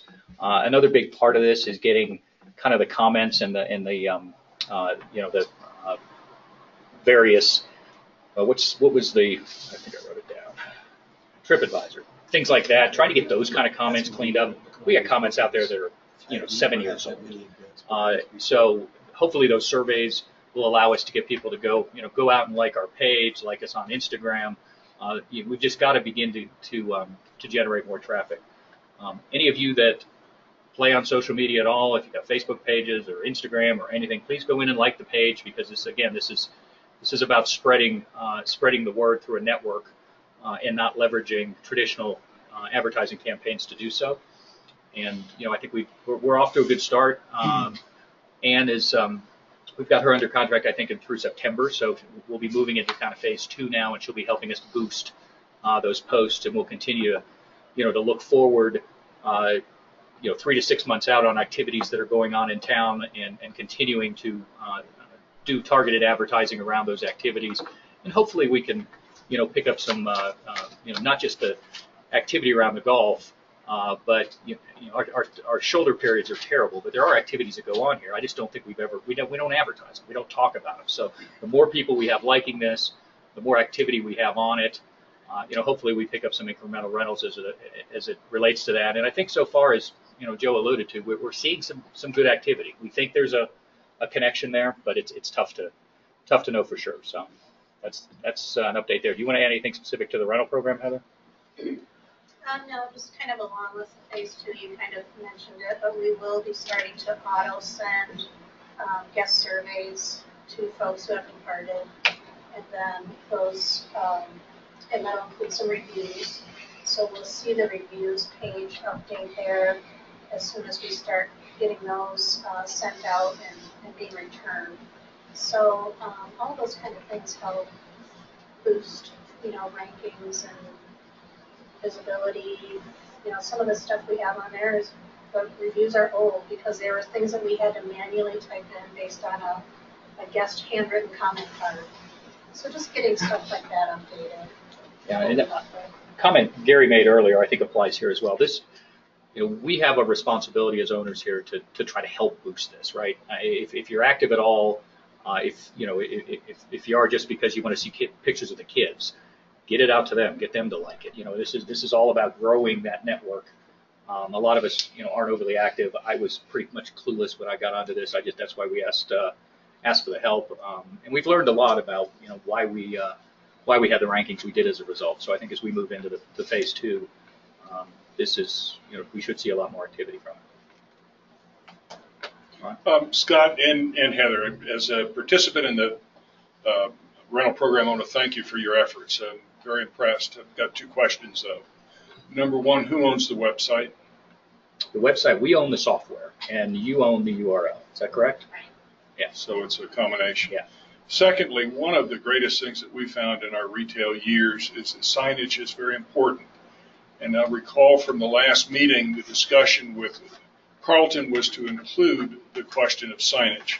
I wonder where we stand on that issue.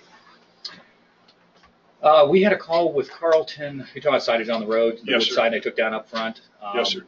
I mean, he Yeah, Bill's helped two si- us two signs. it, but We were, we were on the big wooden sign and we were also at the, at the entry sign and we have no presence there at all now. Yeah, we had a call with Carlton, and the impression I, we got from that call is he was willing to discuss getting the signs back up in, in some areas. Admittedly, it took us a while to get to that point with him, but I think he did agree to it. Is that was your recollection? I think that's a fair statement. Yeah, I, I, I would couch it more that in the agreement that we signed, TACO and Glacier agreed to common landscaping, common signage within the property, and not in the agreement, but we also talked about the signage on the road.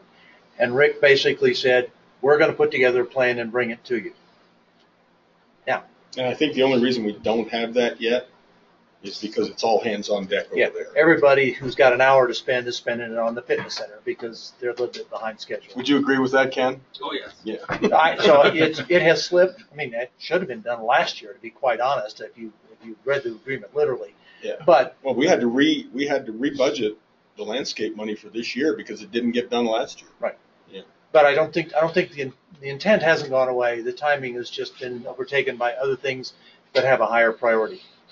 And so, you know, we will, Joe and I are both here just on property now. We will remind Rick and his staff in the next couple of weeks that this was part of our discussion and we're still waiting for that plan. Um, and, and in a polite way. And I think, I mean, we want our money. They would be happy for us to help them with some of the landscaping. So I, I'm, I'm very impressed with their upgrade of their signage, without, without doubt.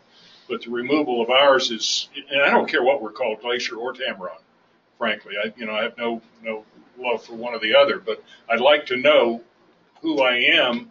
And if we're trying to rent our properties under the Tamarron name, when they come up the road, they ought to see something other than a blue sign. And we were very clear with Rick on the call that, hey, we, we exist as Tamarron. We want to have a discussion around a, different name at some point, that's a discussion. That's not, that's not where we're at today. We have a website that says Tamarron. We have a sign in the front that says Tamarron. Um, you know, I, it would probably take all of us three years to not even reference Tamarron if we changed the name tomorrow. Uh, so it's not something you just change like that. So I think, I mean, we're in agreement. Uh, the signage needs to go back. It's just a function of timing.